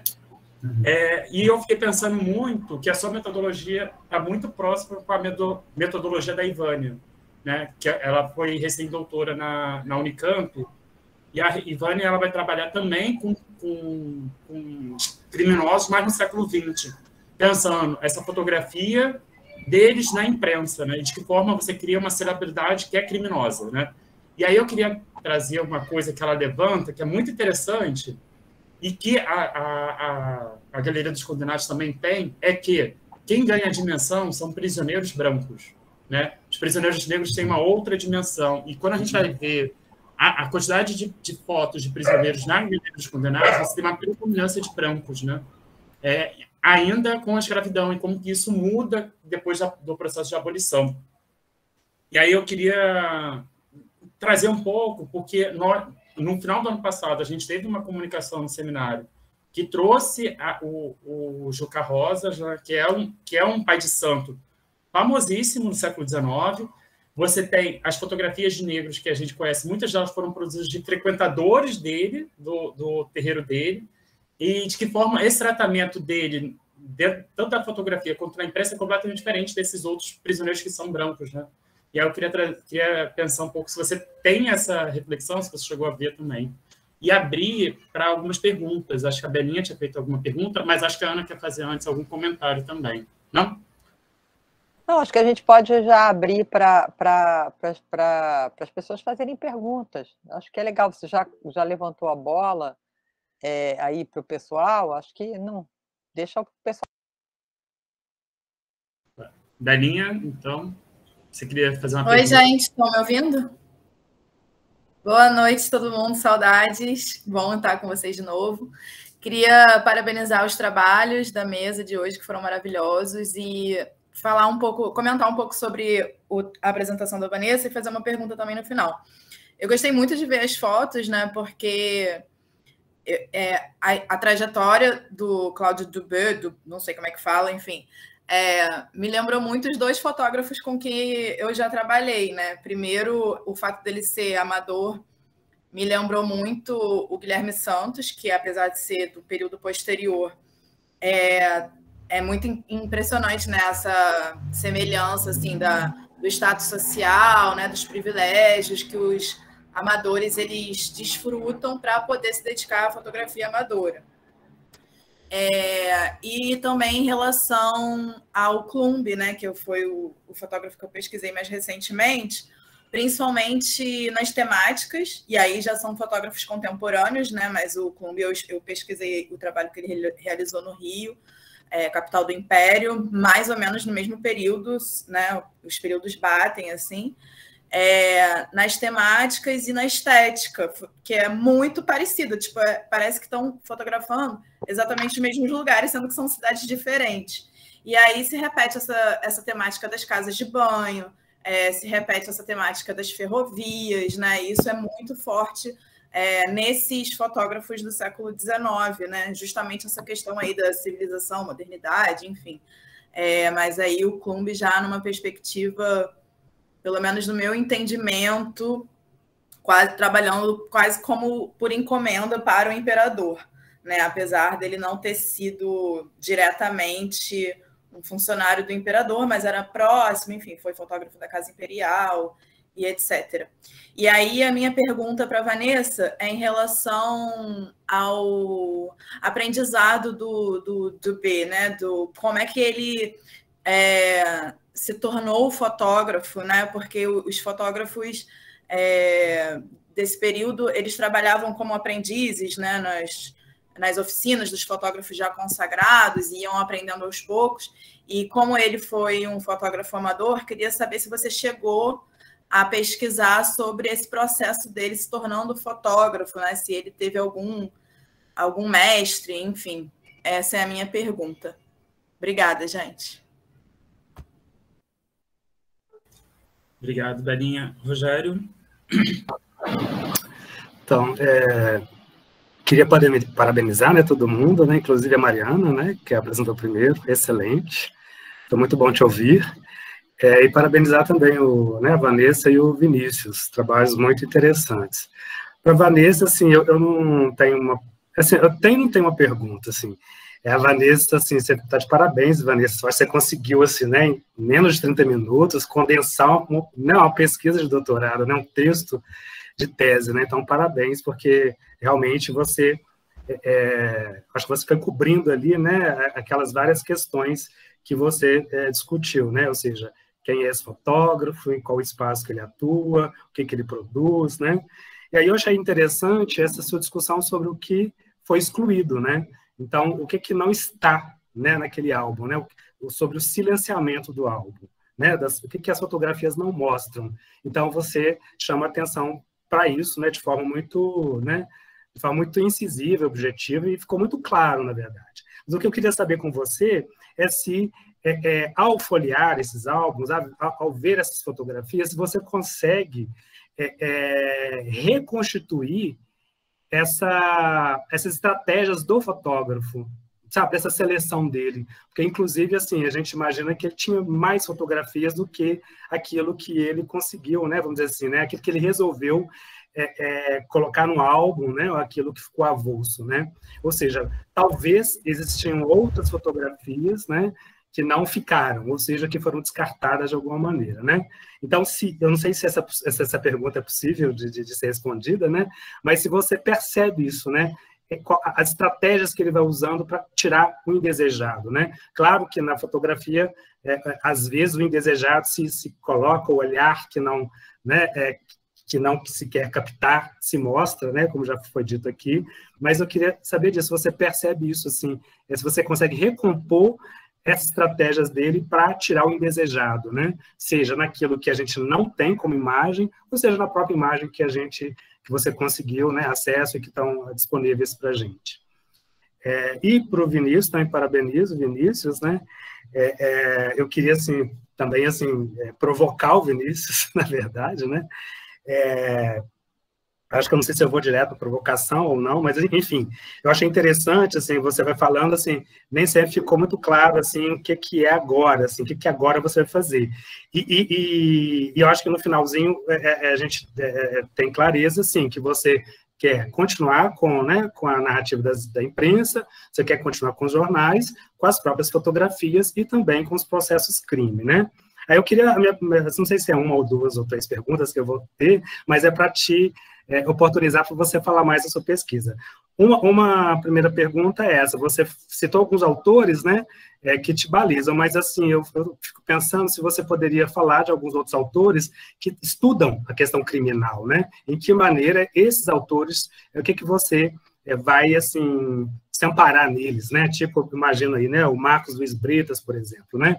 Então, se você trabalha nessa perspectiva, né? Então, quais outros autores que te, embasam para discutir a questão é, criminal é, no Brasil para esse período, né? A outra questão é quando você fala dos jornais, é, se você já tem os jornais selecionados, quais são eles e quais os critérios de seleção desses jornais. A outra questão também é em que é, é porque você fala, né, desses, é, desses, desses, né, desses, da fotografia desses criminosos aqui, e aí você fala, né, da, da experiência de como que é, criminosos também foram fotografados, né, na Argentina e, é, e, e, em Portugal. E aí eu fiquei, assim, um pouco também querendo que você deixasse isso mais claro, assim, seu trabalho é sobre isso, né, é um trabalho comparativo, em medida que no Brasil é de um jeito, Portugal é de outro, a gente é colocar isso em, perspectiva comparativa, é, é, é esse o trabalho, né? É, e aí, é, a provocação, ela vai porque você fala, assim, né, em, alguns, em algum momento você fala, né, é, que, que, assim, como né, é, falar dessa trajetória a partir da fotografia. Quer dizer, aí eu acho que você, né, você mencionou a, a, o conceito de inter, inter, intertextualidade, né, ou seja, é, quando a gente faz pesquisas com fotografia, é claro que a gente, a, a gente tem que buscar outras fontes, né? São necessárias outras fontes, fontes escritas, é, é, objetos, né?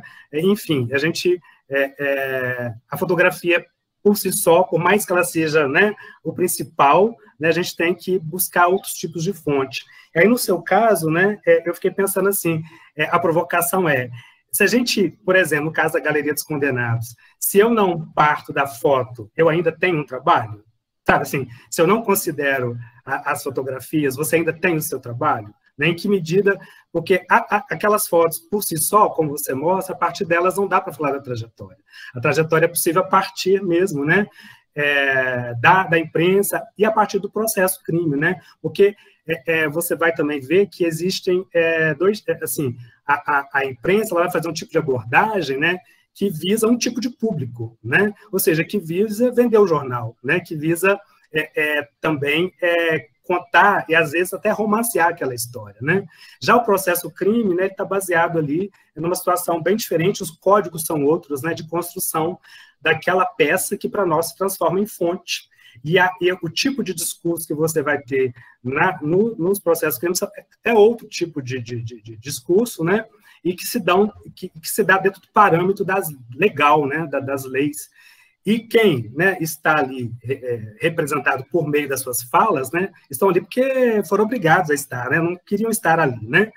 É, mas, enfim, a gente tem essas diferenças também daquilo, do tipo de, do discurso da imprensa, do tipo de discurso dos processos crime, né? É, mas você, enfim, né, está é, tá querendo partir das imagens, né, das fotografias, do processo crime e, e, e da imprensa. E aí a, a, questão é essa, né, de que maneira você já pensou, ou se isso ainda né, está em construção, como articular essas relações. Mas, o, mas assim, a minha provocação principal para você é essa, assim, né? Se você, é, é, por exemplo, se você ficasse para falar da trajetória a partir só daquelas fotografias da Galeria dos Condenados, e aí? Né? Você, a partir dela só é, não é possível né, falar dessa trajetória a partir de uma fotografia. Então, a sua questão é colocar em comparação, ou seja, de que modo Brasil, Portugal e Argentina, eles fotografaram seus criminosos, o que, que eles fizeram com esse, com, esses, com esse produto, que circulação que esse tipo de produto tinha no Brasil, Portugal é, é, e Argentina, é isso, assim, sabe? Então, eu queria que né, você falasse mais sobre essas questões. Mas está de parabéns aí, o que eu, eu, tenho visto também que você, ao fazer essas escolhas, você está procurando se diferenciar dos outros trabalhos, né? Ou seja, já existem outros trabalhos, né? Então você está buscando uma forma de diferenciar o seu, e isso é, é excelente, né? Mas, enfim, é, são essas as questões. Obrigado. Vamos, vamos fazer respostas, e aí, se alguém tiver perguntas depois, a gente abre. Vanessa? É, então, eu vou tentar responder Rogério e Marcos ao mesmo tempo. Né? Porque esses elementos eles são eclipsados, a exemplo da escravaria urbana dessas imagens produzidas da cidade. Eles não são, eles, ele não consegue eclipsar isso no álbum, sobretudo no tema da família, que aparece essas relações interétnicas no cotidiano da, das famílias abastadas, inclusive da própria família dele. E nos anúncios de jornais, quando eu fui pesquisar para tentar reconstruir a trajetória dele e de alguns familiares, eu descobri que o pai dele era vendia e comprava escravos. Então, nesse agrupamento específico, ele não consegue eclipsar esses elementos, em detrimento das imagens produzidas da cidade, né? Eu não sei se eu consegui responder, Marcos, a tua pergunta é de Rogério eles aparecem. Justamente é, é, é, esse diálogo entre esses temas é que vai é, fazer com que a gente é, perceba que é, essa experiência modernizante que vai se plasmar na obra dele combina esses elementos, né? Esse, essa cidade, esses elementos modernizantes com a escravidão. Ela não foi completamente eclipsada, considerando toda a coleção, né? E especificamente as imagens de família e do cotidiano das famílias, as quais faziam parte da rede de sociabilidade da família do B. Na ridicidade, sim, né? das famílias, não. É isso, não sei se eu consegui responder. É... E com relação ao aprendizado, Belinha, é... como não foi preservado o laboratório, nem a biblioteca, é... olhando a produção dele, é possível perceber que certamente é, ele teve aulas né, na cidade, porque já era ofertado desde a década de 50, o fato da, de algumas imagens produzidas por ele dialogarem com imagens produzidas por Stahl, ele faz referência né, a essa cultura visual, a Stahl, ao Ferrez, a, a estética faz também referência à, à escola romântica também de fotografia, né, o Le Gray, enfim. E certamente ele também teve acesso aos manuais porque é, ele falava inglês e francês, né, que eram os idiomas principais, né? Desses manuais né, de, de fotografia. Eu não sei também se eu consegui responder, né? Não, respondeu sim. É porque justamente ele parece ser uma pessoa que tem um, uma, um, cabedal de cultura visual bem Exatamente. vasto, né? Porque ele realmente reproduz da forma como os grandes mestres reproduziam. Ele faz referência a, toda, a todos esses fotógrafos, né? Stahl, Ferrez, Aleguay, enfim tanto da fotografia nacional como internacional também. Né? Ele tem acesso a essa produção. E certamente também deve ter lido muitos manuais, né? Já que o idioma não era uma barreira para ele, né? Francês. Oi, Vinícius. Oi, vamos lá.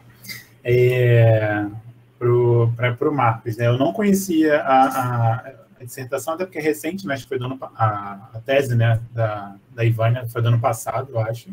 Mas eu já conheci alguns trabalhos que ela fazia, mas um trabalho que é muito parecido com esse, acho que é Onde Queres Bandido, seu herói, alguma coisa nesse, nesse sentido, é o da Leonor Sá, que é uma historiadora portuguesa, que trabalha também com a perspectiva de fama e infâmia, né? Essa, essa ideia de tornar celebridade um criminoso sem com que, de fato, ele tenha essa escolha, né? De, enfim, de se tornar um criminoso. Ela mostra lá no trabalho dela os primeiros registros fotográficos de Portugal e, e vai meio que montando como que se dá ainda no século XIX é, essa, essa, essa celebridade torna-se celebridade essa figura que, no caso, não deveria se tornar celebridade, né? Dentro do, do, do pacto, né? E aí, assim, é... isso é um ponto, eu não conheci o trabalho, mas eu vou conhecer, enfim, vou acabar lendo o trabalho dela. E sobre a dimensão é, dos prisioneiros brancos ganharem mais notoriedade, isso é um fato. Né? No, no álbum que é, que é exposto, só o Juca Rosa que, que do, do grupo de estelionatários que está ali sendo divulgado na exposição da Filadélfia. Do restante, a gente vai ter a maioria imigrante, inclusive isso é uma das questões que eu levanto quando eu escrevi a, a dissertação, né, sobre a maior parte desse álbum ser imigrante, mostrar essa outra vertente de Brasil e, e excluir efetivamente a população negra desse tipo de representação. Né? É, que, que agora eles estão querendo mostrar para o mundo essa ideia de civilização, é, é essa, desse, desse, embranquecimento já em pauta, né, desse, desse, das, das noções do racismo biológico, enfim, e dessa necessidade de mostrar um Brasil é, diferenciado, inclusive dentro do próprio aspecto criminal. Né? E eu acho que essa é a grande perspectiva, e isso eu conseguia é, abordar no trabalho a partir da análise semiótica mesmo, destrinchando cada etapa, cada fotografia, vendo para qual lado ele olha, vendo o que está dentro, o que está fora, que álbum que está fora.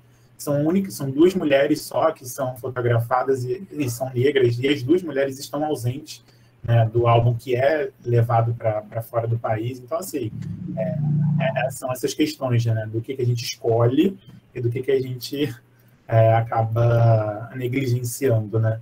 De maneira direta, e o porquê disso que a gente já sabe, dessa necessidade de mostrar um, um Brasil diferente. Foi? Não? Tá. Sobre a comparação da, da que a Aline acabou de mencionar, da, da Elizabeth Holmes, eu vi essa foto e realmente acho que isso, inclusive, dá um trabalho de, de, de, de pensar né, nessas possibilidades de recriação de imagem é, e de como que determinadas posturas é, ainda continuam é, é para a grande mídia, né, ou para a grande ideia do que seria uma, uma, representação criminal, ainda continuam ali dentro do, do imaginário, né, dessa necessidade de representar. Inclusive porque, enfim, Elizabeth é branca, né, ela é multimilionária, ela comete um crime financeiro, enfim, e é importante você representá-la desse modo. Né? Mas é, dá, acho que dá para fazer um, um, uma outra coisa é, a partir dessa, dessa comparação. Parei da, da mesa. É, com quais autores eu acabo operacionalizando os textos? Né? Um que para mim hoje funciona muito é o Diego Galeano, né? É, que está na PUC né, hoje em dia, mas que ele tá, também, também trabalha bastante com essas perspectivas, inclusive dentro da perspectiva é, dos estelionatários, né, que ele acaba abordando uma outra pegada, é, essa, essa circulação né, no eixo sul da América desses criminosos falsários, né, que, que, que, querendo ou não, é parte do grupo dos estelionatários, mas que cometem determinado tipo de crime o Bretas, é, leitura obrigatória, o Thomas Holloway, que é uma leitura obrigatória, né? É, hoje em dia, dentro de uma perspectiva diferente da, da, da história, que eu acabo operacionalizando também, é, é o Dominique, é, o Califa, né, com os Basfondes, né, enfim. E é, dentro de uma perspectiva de identificação dessa fotografia criminal e dessa sistematização, catalogação, é, é, são os trabalhos do Simon Cole, do Simon Cole, né, que acabam ajudando a, a entender é, esse processo de divulgação e de criação dessa fotografia, desse, desse estilo fotográfico que se consolida no século XIX. né, e do porquê dele se consolidar no século XIX. E da, da Eleonor Sá, que para mim foi um grande achado. É, enfim, acabei procurando na internet, achei um, um, artigo, do artigo achei outro artigo, enfim. E aí achei o, o, trabalho dela que também vai nessa mesma pegada de tornar famoso é, os infames, né, enfim, e de mostrar uma outra vertente dessa, desse tipo de fotografia, que seria fotografia criminal. Sobre é, mostrar os álbuns é, dentro de uma perspectiva comparativa.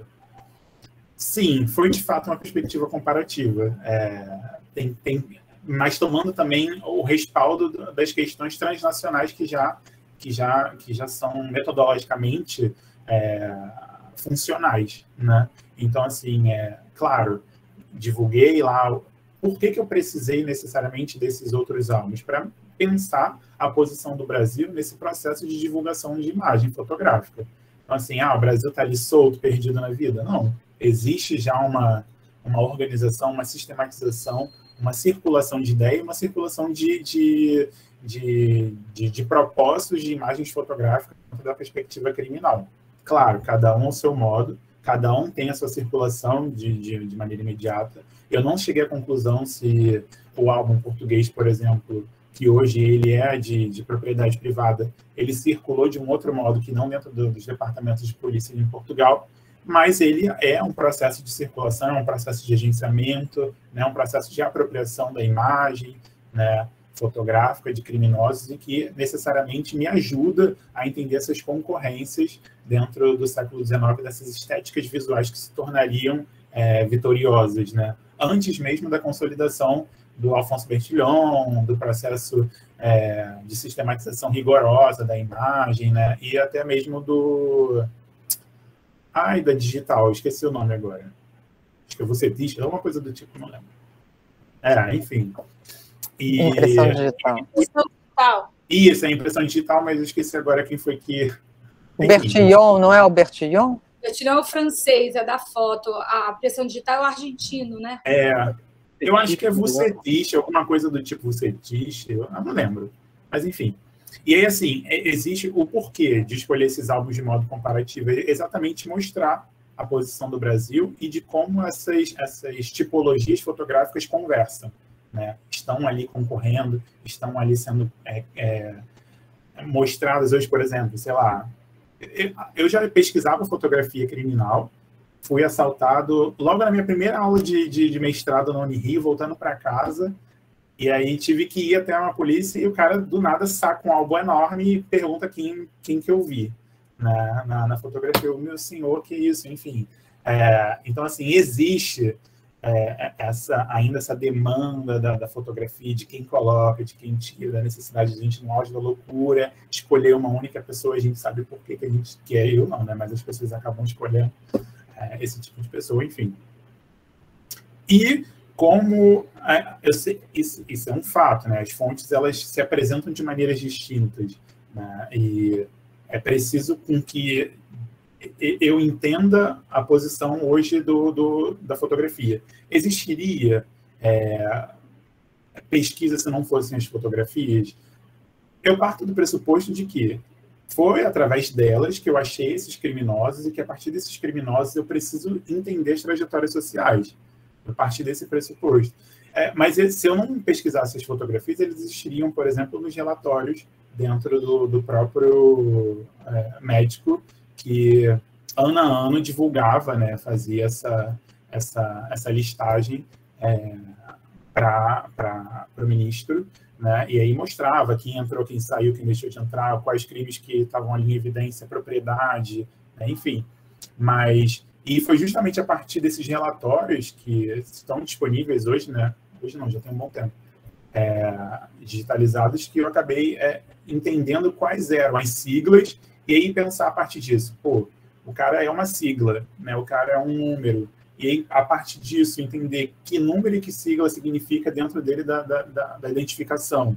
Como que ele se circunscreve dentro dos processos de identificação criminal. E, a partir disso, pensar as trajetórias numa outra mão, né? de uma outra via. Né? Ele está ali, está preso, ele tá, ele nem sequer viu o álbum, né? ele nem sequer sabe que ele viajou para Filadélfia através da imagem, mas eu precisava entender o que é, dentro de uma outra esfera, a partir da imagem, eu, eu conseguiria. Fato é que, como eu falei, é, só pela imagem eu não conseguiria entender a trajetória, só quando ele entrou, quando ele saiu e por que, que ele entrou. Mas que outros aspectos a imagem hoje conseguiu me, me abrir os olhos, identificar e projetar historiograficamente pensando, é, eu conseguiria, eu não conseguiria ter um projeto, né? Mas eu parto da fotografia para entender essas trajetórias sociais e para entender a concorrência do Brasil nesse, nesse cenário, nessa, nessa dinamização né, de, das circulações da, da fotografia. E operando sempre com, com essas perspectivas da intertextualidade e da necessidade de operar com essas outras fontes justamente para não ficar, é, para destacar o meu trabalho dentro de uma outra questão. Né? Não, não como, é isso, é anti-imagem, porque é uma necessidade de entender essa fotografia que, ao meu ver, até então, poucas pessoas trabalharam. Né?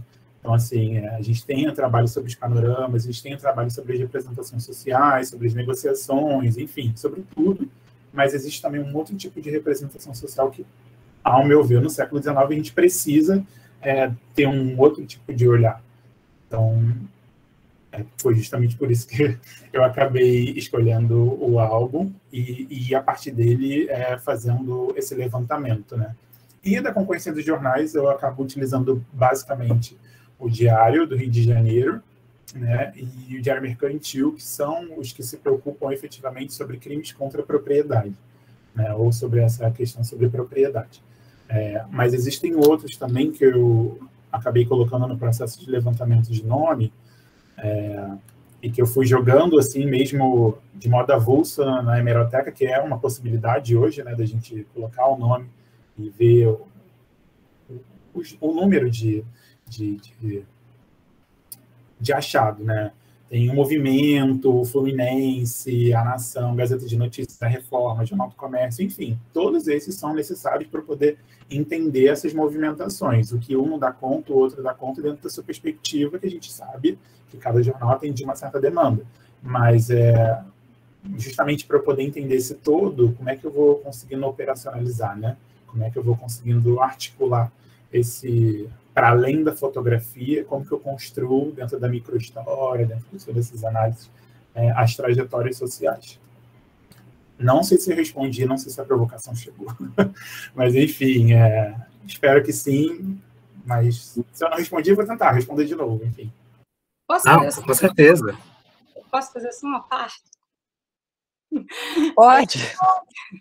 É que eu fiquei pensando a partir da pergunta do Rogério, né, que eu acho que foi muito importante para a gente pensar, quer dizer, no, eu penso assim, né? É, eu acho que o trabalho do Vinícius é sobre fotografia criminal, né? E aí a fotografia, como é que está se formando essa fotografia criminal, né? Quer dizer, existe aí um, um, uma concorrência de estéticas, de organização do espaço de figuração da foto que, tão, que ainda não está está dado, né? Que está tá aí nesse disputas. A gente vê pelos diferentes álbuns, e talvez se a gente pegasse outras nacionalidades, a gente veria, né? Quer dizer, é, como é que isso depois vai dar naquela foto do prisioneiro com, com, com a roupinha, segurando plaquinha, olhando para frente, depois de perfil, né? Quer dizer, então, quando a gente vê, eu acho que são disputas de, de, de configurações, de tipo de representação, né?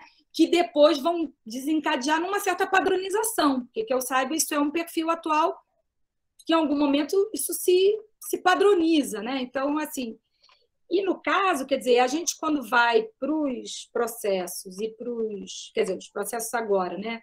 E para e os jornais, é justamente pensando nessa ação, né? Assim, na importância de cruzar essas imagens.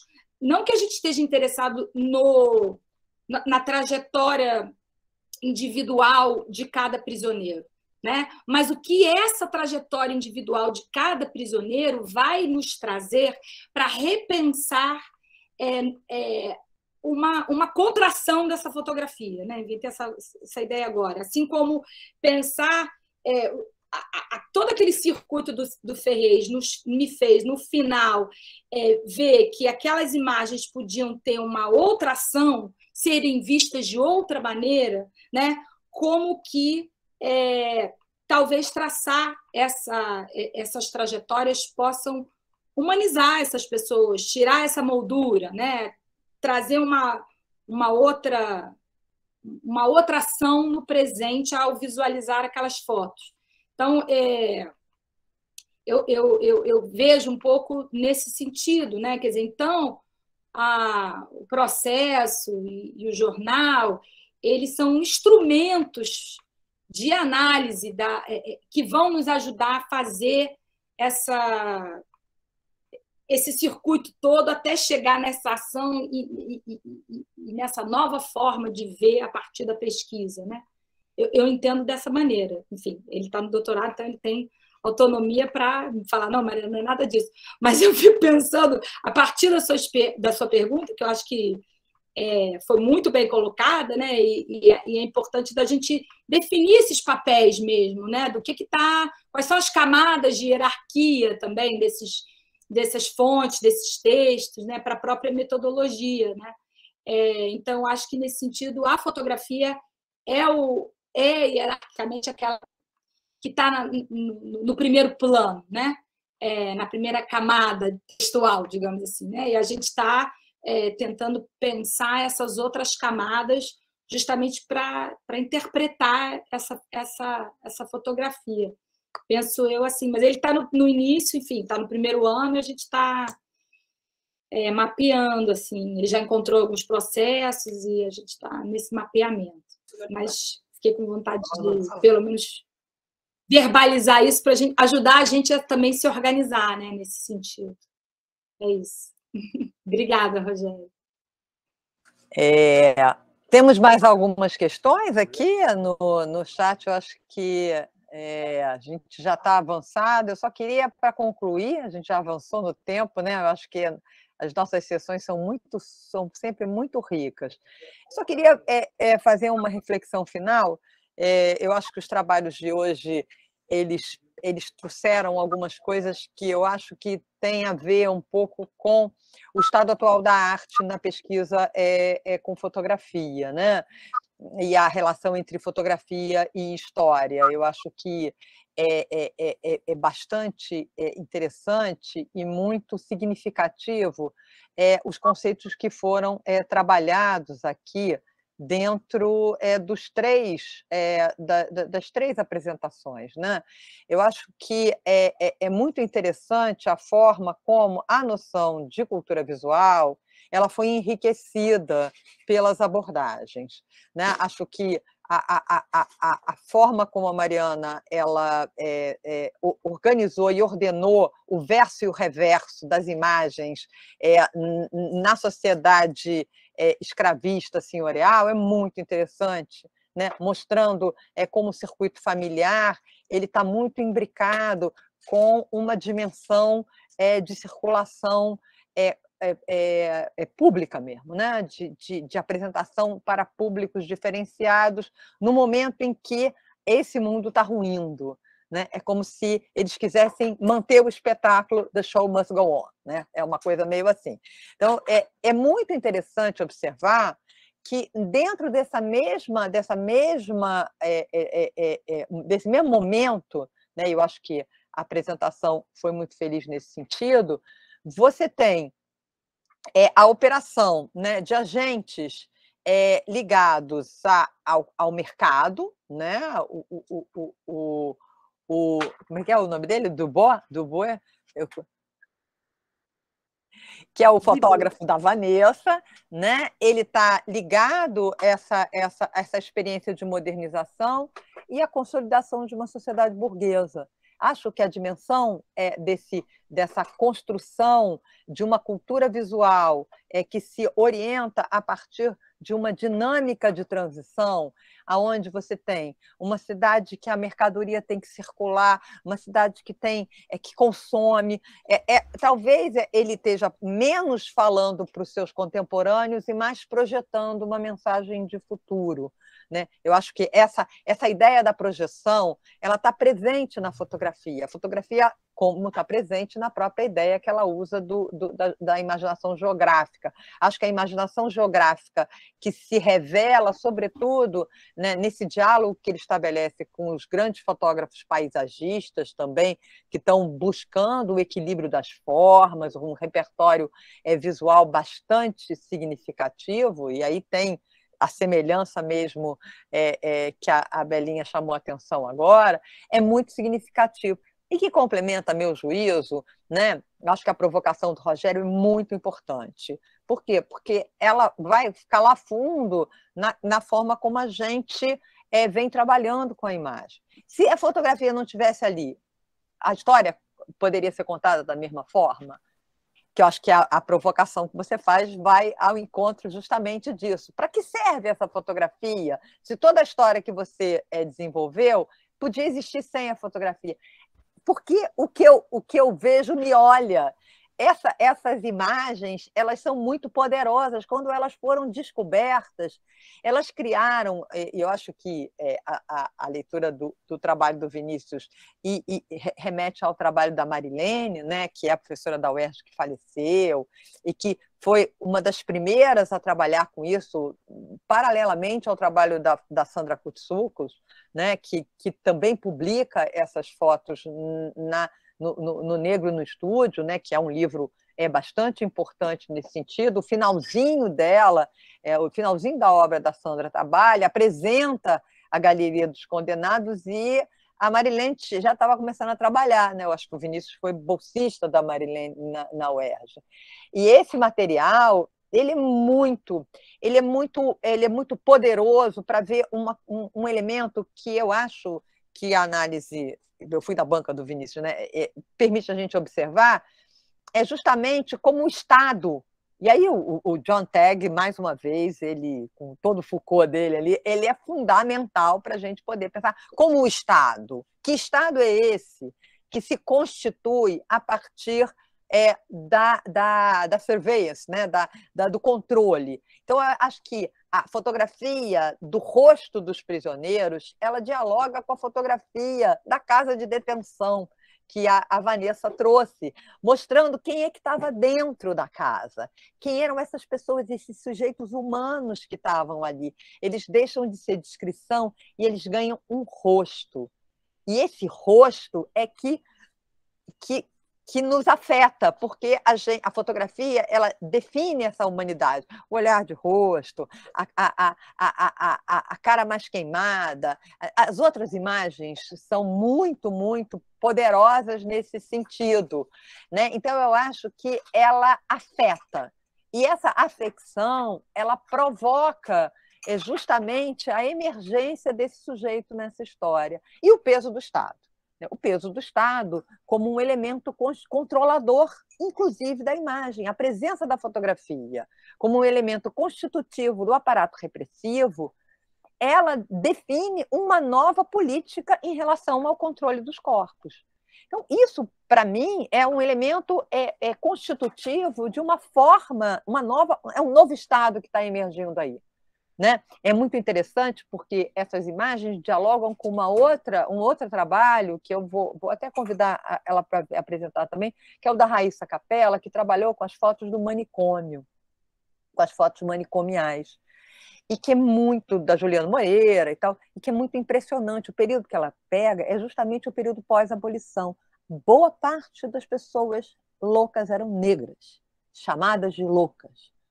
E isso é é extremamente importante para ver como a, a, a, a, liberdade ela veio acompanhada de um de, a liberdade, né? Ela, a, a, a, ela, o pós-abolição veio acompanhado de um adoecimento massivo da população negra que perdeu o seu lugar, muitas vezes perdeu a sua casa, perdeu. Então é, um, é, é, é, é, é pensar como a emergência desse, desses, desse olhar panóptico que a fotografia quando é incorporada pelo Estado, ela opera, é fazer, em certa medida, o que a Mariana propõe, né? é retornar esse olhar e restituir a humanidade para essas pessoas que estão ali objetificadas na imagem. Eu acho que é o mínimo é, de reparação que a gente pode assumir como função é, historiográfica, é, porque eu acho que é, é, é, dentro dessa perspectiva que a gente pode pensar os passados possíveis, evitando que essas pessoas tenham um destino manifesto, que é, é a reiteração da sua objetificação. Então, eu acho que é, é, muito interessante né, como pensar a cultura visual é, num determinado momento, mas redefinir essa, essa dimensão desse conceito né, é, é, analiticamente é muito importante e é muito potente. Isso só, pode, só é possível mesmo por conta de como a história, como o Paulo costuma dizer, ele marcou o um encontro com as imagens. Né? E esse encontro ele tem sido, assim, a meu juízo, muito poderoso, embora nem sempre feliz. Né? É, é, é, essa, essa, essa, esse, esse, confronto que a gente vive o tempo todo, inclusive em mostrar e não mostrar, né? imagens que são é, é, é, passíveis de serem vistas de forma inócua ou, ou, de forma ou, ou para efeito de denúncia, como são imagens que a gente vê agora né, da guerra da, da Ucrânia, mas a gente viu de todas as guerras que a gente tem passado recentemente que não tem tido né, a mesma é, é, dimensão, né? mas enfim. Então, acho que essa, essa, esses encontros têm possibilitado para a gente amadurecer né, as nossas perspectivas em relação né, aos usos e funções da imagem na própria pesquisa é, histórica. Eu acho que, que, que, que, esse é um elemento é, bastante significativo é, e eu acho que os nossos seminários têm possibilitado a gente a enfrentar né, essas questões e, e, e eu quero agradecer muito né, a todos e todas e todos que tiveram é, aqui nessa sessão de hoje. Convidar vocês, né, Marcos, para a nossa próxima sessão, que vai ser no dia 5 de maio, a gente vai ter como convidada principal né, a professora Patricia Reis, da Universidade é, do Cabo, na África do Sul. Ela é, é uma figura central nos debates é, sobre fotografia, né? ela, ela já vem publicando, tem, é, sobretudo, é, a fotografia é, em perspectiva pós-decolonial. Né? é uma autora fundamental para os nossos debates. É, a sessão vai ser em inglês, né? É, infelizmente a gente não tem como fazer a tradução, mas eu acho que é, não é uma coisa impossível. Né? Ah, você vai comentar o, o aniversário. É, vamos comemorar o aniversário do Marx, que era taurino, com ascendente em aquário. Então... Depois dessa, eu fecho a nossa sessão. E era taurino, é fácil. Agora, com ascendente em aquário, só para os só escolhidos. Oh. para os autorizados. Por isso que ele era materialista e pensava coletivamente. Gente, então, olha, Gente. muito obrigada. Muito obrigada é, pela presença de vocês e não de, na próxima a gente vai continuar divulgando as sessões do seminário com os links direitinho, tá bom? Obrigada, gente. Quer falar alguma coisa, Mar? Obrigada. Não, era só isso mesmo, chamar para a próxima sessão e, enfim, iniciamos os trabalhos de 2022. Isso. Obrigada, gente. Tchau, obrigada, obrigada. Boa noite. Tchau, tchau, gente. Valeu.